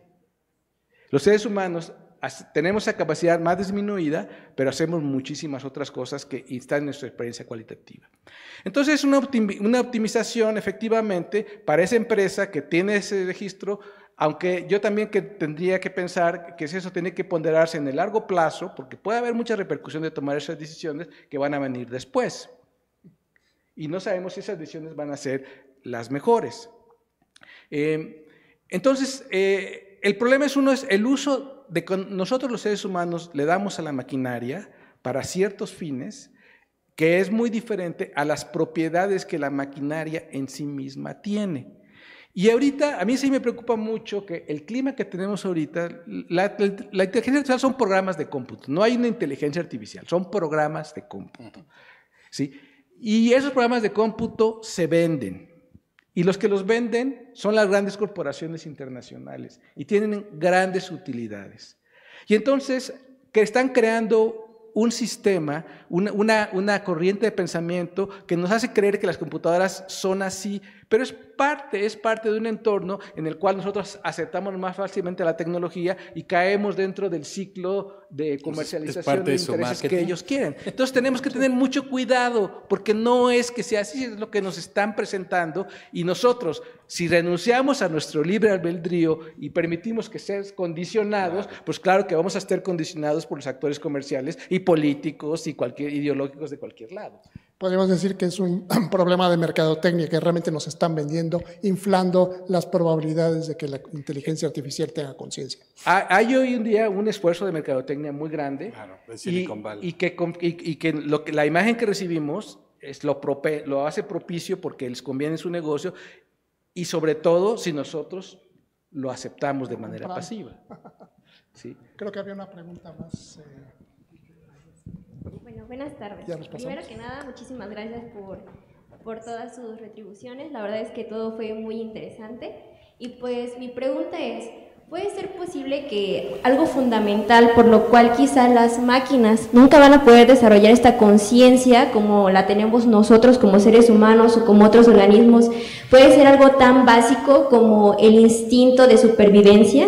Al final de cuentas nosotros somos posibles, o bueno, somos eh, seres capaces de poder aprender y tomar decisiones libremente a nuestra conveniencia y a lo que nosotros nos permita eh, vivir en las mejores condiciones. Entonces, como las máquinas finalmente no tienen como tal eh, esta capacidad o esta amenaza que tienen de que necesitan sobrevivir, puede que no, no puedan desarrollar esta conciencia como tal.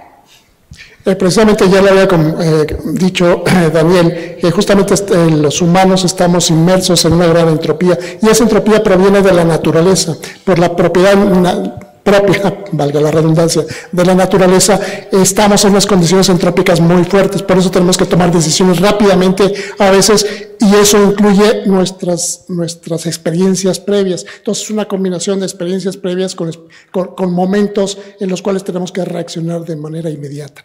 Entonces justamente esa entropía es lo que hace que el, que el organismo sea distinto a la máquina. Si a la máquina le ponen una situación que no está contemplada, por ejemplo, los autos, los carros autónomos, tienen una limitación muy grande porque los que está rodeando son los humanos y los humanos son muy entrópicos, ¿no? Entonces nunca va a haber un carro perfecto y por eso, aunque los quisieron vender la idea de que ya en unos años iba a haber carros autónomos, todavía parece que está muy lejano a esto, porque está participando los humanos. Si no fuera por humanos, creo que los carros autónomos ya estarían proliferando. Entonces el, gran peligro no es la inteligencia artificial, sino son los humanos, cómo la van a usar. Y, yo ahí agregaría algo, a ver, no sé también qué piensen. Ah, se ha hablado mucho en esta mesa de libre albedrío, como si realmente fuera inherente y que nosotros fuéramos libres realmente de tomar decisiones. Pero ¿qué tal que estas decisiones también están basadas por asuntos de probabilidad, pero a partir de las experiencias previas que hemos tenido.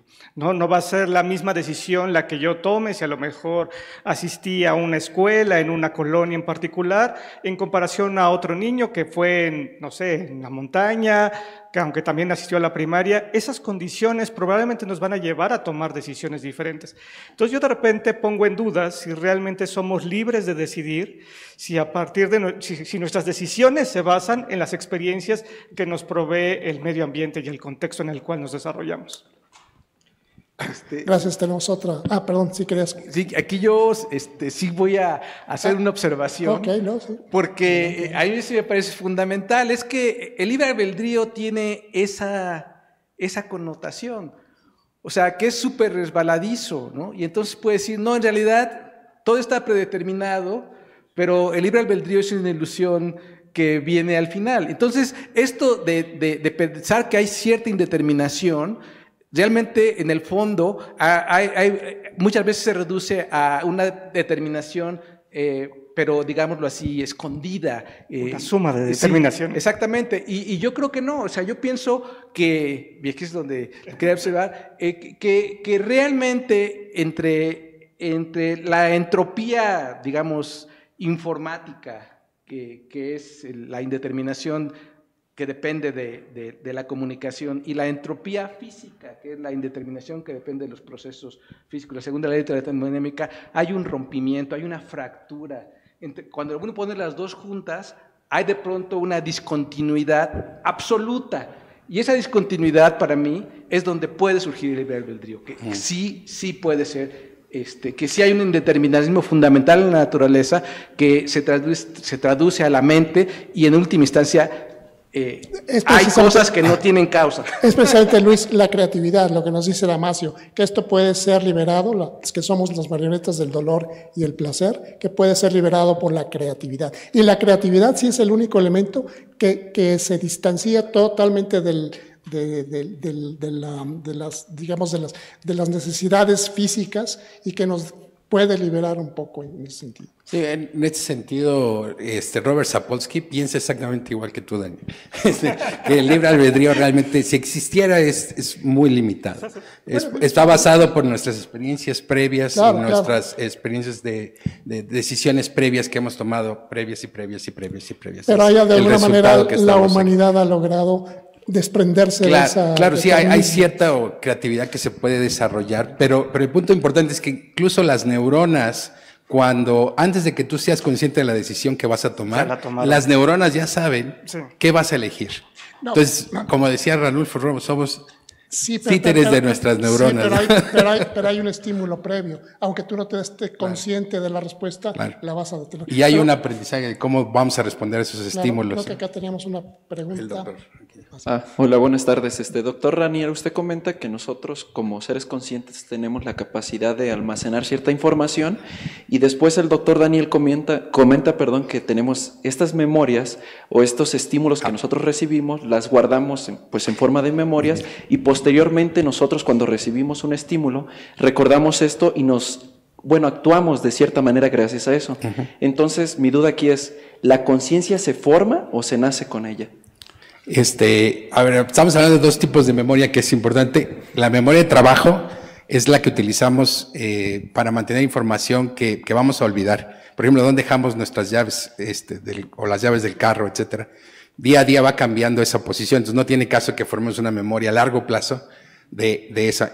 Las memorias a largo plazo, que es la que se refería Daniel, esas pueden ser muy grandes y pueden ser este, demasiado grandes. Ahora, nada más ahí, yo bueno, no considero que la conciencia sea el producto de la memoria. Probablemente es la unión de varias cosas. Percepción, sensación, pensamiento, memoria, todo eso al final se integra en algo que pues, nos cuesta trabajo definir, pero es lo que se refleja el autoconocimiento de lo que conozco y de lo que soy. Entonces yo lo pondría como la suma de todos esos módulos que van generando una respuesta final. Creo que aquí tenemos una pregunta. sí. Ah, hola, buenas tardes. Celsin Maya, estudiante de maestría en farmacología del CIMBESTAF. Ah. Eh, volviendo a la toma de decisiones, la pregunta es, ¿qué tan lejos estamos de que esta inteligencia artificial sustituya la toma de decisiones de un humano? Por ejemplo, en un ámbito hospitalario, el farmacéutico clínico, a través del llenado de un perfil farmacoterapéutico, puede determinar si la prescripción médica tiene alguna sobredosis, alguna infradosis o alguna interacción entre medicamentos. Entonces, ya existen eh, programas que extraen esta información del expediente clínico y que lanzan estas alertas a los médicos para decirles que, que tienen una interacción. Y de hecho, eh, aparte de lanzarles la alerta, les da recomendaciones. Entonces, finalmente esta interpretación viene del médico, pero ¿qué tan lejos? Porque para, mí pareciera que estamos a un paso. De hecho, ya está pasando. de que esta toma de decisiones sea sustituida. Por ejemplo, nos pasó con el Google Maps, ¿no? O sea, antes todos teníamos que usar la guía Roji o, memorizar realmente las calles. Pero ahora yo dependo completamente de que me diga vuelta a la derecha, vuelta a la izquierda. Si, si me acaba la batería, ya me perdí. Y tu hipocampo se está, está reduciendo. reduciendo sí, claro. Este, sí. ya, está, ya está pasando. Sí, muchos médicos están utilizando ChatGTP para hacer preguntas de su, del perfil del, del, paciente y para tomar decisiones de cuál podrían ser los síntomas, etcétera. Es una realidad, incluso lo estamos viendo con ChatGTP al escribir, ¿no? Este, lo que está haciendo ChatGTP es muy simple, simplemente lo entrenaron con varios millones de textos y de repente le borraban unas palabritas y entonces lo que tenía que decir es ahora, es decir, a ver, ahora predíceme las palabras que borré. Entonces, si le atina, entonces ya debe de saber, lo que sucede es que va calculando la probabilidad estadística de qué palabra sigue a otra. Pero hay una cosa, René, y entonces... Siempre hay un humano detrás de todo esto. Bueno, finalmente el humano es el, que, escribió todo el texto. Como nos decía Luis, el que programó todos estos programas es justamente un humano. Y entonces los puede modificar en la propia inteligencia pero en base a la información que le dan los humanos. Entonces, hay, hay una retroalimentación, pero hasta donde yo entiendo, y eso es sería una pregunta ahorita para Luis, eh, ¿tú crees que pueda crear la inteligencia artificial música? Se, sabe que sí, ya hay música hecha por la inteligencia artificial. Crea poemas, crea... Y aquí, aquí viene el gran problema. Pero no los entiende. No sé, e, esa es la pregunta que le haría a Luis. ¿Realmente crees que la inteligencia artificial sienta los poemas, sienta? Y esa es la emoción. La emoción que nos dice Damasio que no parece que tenga la inteligencia artificial. Bueno, sí. Eh, bueno, creo que está relacionado también un poquito con la última pregunta. Eh, déjame ponértelo así, de esta forma, rápidamente, ahorita regreso a este punto. Si ya están esos protocolos hechos de manera tan bien definida y la computadora los puede calcular tan precisamente dónde está la decisión. Ya no hay decisión. La tomó la máquina. no, la tomó el programa. O sea, en el programa hay una completa, completa determinación en el procedimiento que lleva a que la computadora arroje el resultado. Pero no es porque la computadora esté tomando la decisión sino es que hay todos estos procesos que están perfectamente determinados están y, obedece a, es, el, probabilidad es, el, resultado del cálculo. Sí, sí porque el, el cálculo estadístico es un cálculo, o sea, no, es un cálculo, digamos, es un, depende, hay una cuestión estocástica, pero sigue siendo un cálculo y, una explicación muy sólida en sí misma. y, y, más o menos creo que se puede conectar lo que mencionas, porque, eh, eh, eh, de hecho, ChatGTP sí hace poemas. Yo le he preguntado, le he dicho, pues, por ejemplo, hace un poema este, los hace bien. Hace un son, le dije el otro día, hace un soneto en, decasílabo en el estilo de Sor Juana. Sí. Y entonces eh, inmediatamente me sacó un soneto en decasílabo en el estilo de Sor Juana, este, perfectamente bien medido, los dos cuartetos, los dos tercetos, etc. Eh, pero ya leyendo el poema, o sea que de pronto dices, ay, qué interesante, es un poema de, ahí lo tengo, si a alguien le interesa lo puede ver, digámoslo así, de metáforas vacías. ¿Sí? O sea, de, palabras que riman y, hacen este, efectos relevantes, pero no hay una metáfora de fondo. O sea, no hay un sentimiento este, y sobre todo no entiende que está escribiendo. expresando, sí, porque, porque como este, como decías, o sea, lo que ChatGPT hace y los modelos de lenguaje hacen en general es simplemente predicen el lenguaje que será generado o emitido a partir del lenguaje que ha sido observado. Entonces, de hecho, producen lo más probable, dado lo que se dio anteriormente. Y si ustedes eh, pues, un poquito acerca de la creatividad, o sea, cuando yo hago algo realmente creativo, ¿qué tan probable es que haya pasado? Porque la creatividad realmente es que es altamente improbable. Yo produzco algo que es no visto anteriormente. ¿sí? Entonces, eh, y, justamente, si los modelos de lenguaje, podemos platicar un poquito acerca de por qué y cómo lo hacen y cuál es su historia, que es una historia muy interesante, por cierto, este, eh, es lo que hacen. Simplemente tengo una serie o un grupo de elementos que sean, pueden ser palabras, pueden ser imágenes, puede ser música, etcétera, etcétera. Le doy yo un segmento y entonces en base a esa gran eh, base de datos, cuando ni siquiera base de datos, el modelo de lenguaje, produce lo que es más probable, la continuación más probable. Y ese elemento fundamental se utiliza para todos los trucos que, bueno, no trucos, sino todas las funcionalidades que tenemos ahorita con la inteligencia artificial generativa, que producen la secuencia más probable dada la secuencia que yo le doy como referencia. Entonces, eso en sí es opuesto a la creatividad. Porque la creatividad, cuando alguien es creativo, es que es realmente novedoso. Nunca nadie lo había pensado. Ahora, pero por otro lado, en el arte, y esto lo comentaba el otro día Raúl Rojas también aquí en el Colegio Nacional, en, un, en otro panel, en el arte podemos distinguir lo que es el, dominio de la técnica artística de el sentimiento o, de la creatividad que se expresa en la obra de arte. Entonces, por ejemplo, si vamos a una escuela de arte, de pintura o de escultura, eh, eh, o en general, una gran cantidad de la currícula que se sigue es aprender las técnicas, aprender los materiales, usarlo. Es toda esa parte que de alguna manera tiene que ver con la mecánica, que todos aprenden a, partir de, una escuela bien definida, una experiencia, eh, y, se aprende el lenguaje de los elementos y se pueden crear las obras. Es una gran parte muy importante, que tiene un proceso mecánico que pues, lo simulan las computadoras de alguna manera, porque es lo que hacen. Pero el arte no es nada más esa, eso, ese vestido, sino toda obra artística en, en, el fondo hay una intencionalidad. Hay un sentimiento humano que se quiere expresar. Una forma de representación de ese sentimiento y ese... Bueno, se, se expresa sobre la representación. exacto. Y, y, eso, pues, es, es la fuente de la creatividad. Es la creatividad, sí, claro. Y, y, lo que yo creo que que, que adolece. Determinado. Ahí podría ser el libre albedrío. Claro. Pero es muy raro. ¿te tenemos una, creo que es la última pregunta para, porque no queremos abusar del tiempo. Hola, ¿qué tal?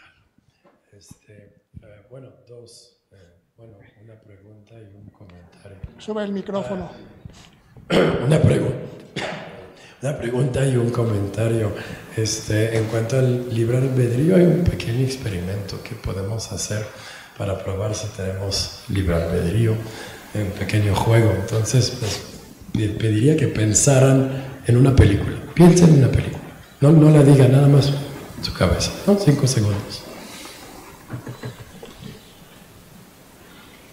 ¿Ya quieren su película? Sí, ya. Okay. No me digan cuál es. ¿Por qué no escogieron Titanic? ¿Por qué no escogieron Rocky? ¿Cómo decidieron la película? Ya pasaron los Óscares y no estaban. no la vimos. No, estaba. Es que no tienen absoluta. O sea, les surgió de manera completamente estocástica cuando les hice la pregunta, una pregunta a la mente. Y no tenían absolutamente ningún control, no tuvieron ningún control sobre la primera película que les vino a la mente.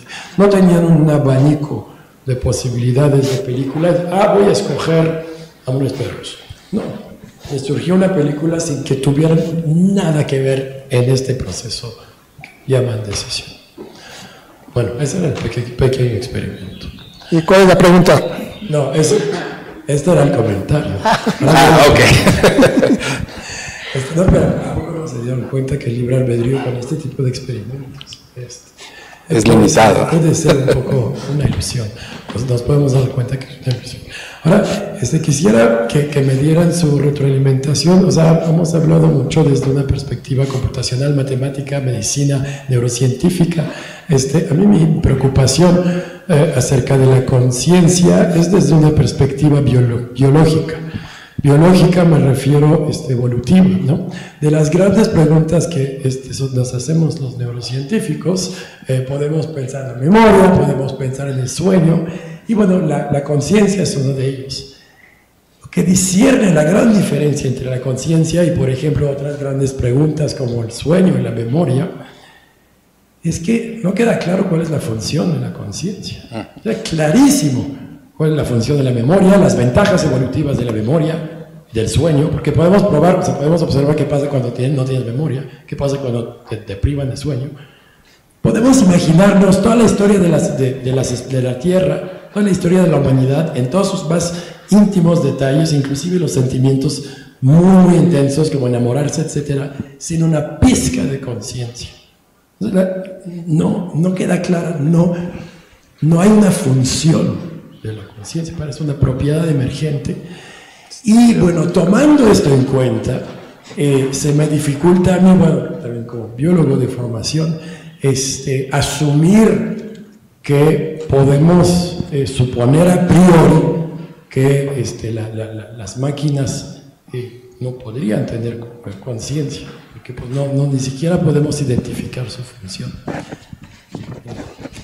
Gracias. No, sé, a mí se me ocurre y difiero en que la conciencia debe surgir a partir de las presiones ambientales. De ahí que no creo que tenga una función.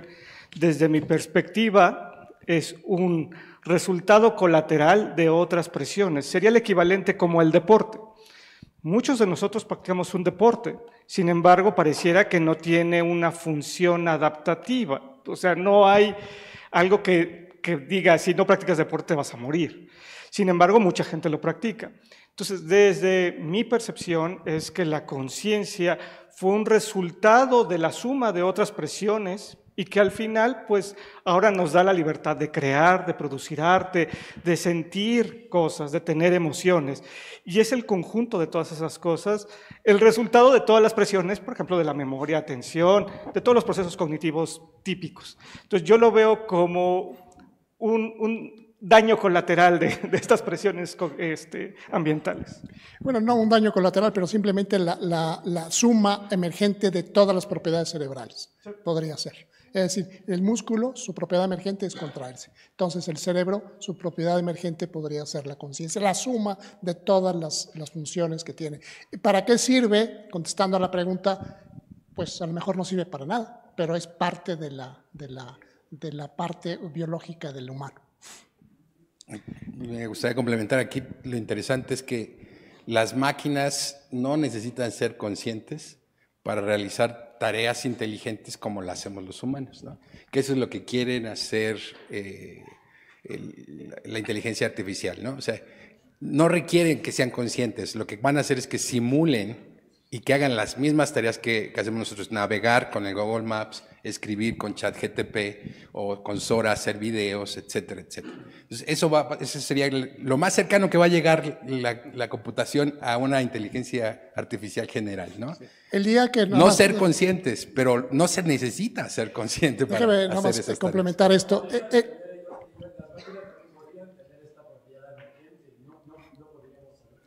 A lo mejor, pero, pero, el, día, pero el día, el día que, que, las máquinas empiecen a tener envidia, el chat GPT empiece a tener envidia de Google. Tengan sindicatos. Y, Google este, quiera eliminar a, a, Microsoft, entonces ya estamos hablando de que tiene conciencia.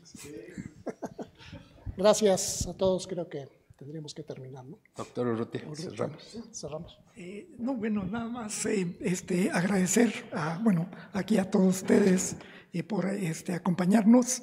les invitamos, esta mesa forma parte de un ciclo en marzo y en, en abril. Y viendo las preguntas, el interés, los comentarios que tenemos en las redes, pues realmente da para, para este, tener un, más mesas y un programa este, mucho, más, eh, mucho más amplio. Eh, eh, este jueves tenemos los documentales que pasan en TV UNAM y en los canales asociados a TV UNAM sobre el cerebro y las drogas. se examina, Daniel nos ha estado acompañando, examinamos pues el papel que tienen muchas de las sustancias en el cerebro y la, siguiente semana eh, vamos a tener uno particularmente interesante que es eh, las eh, drogas del futuro, que nos ofrece este nuevo arsenal en términos de, drogas. Y en la, parte de nuevos compuestos químicos, pues una de las componentes más eh, no, y una de las componentes, además de que altera la conciencia, este, em, es que em, la capacidad de probar nuevos compuestos pues es bastante limitada em, y el uso de, estas nuevas eh, técnicas eh, dentro de inteligencia artificial ha abierto un potencial que química este, no había contemplado hace muchísimo tiempo, ¿no? La capacidad de estarlos probando. Entonces se abre.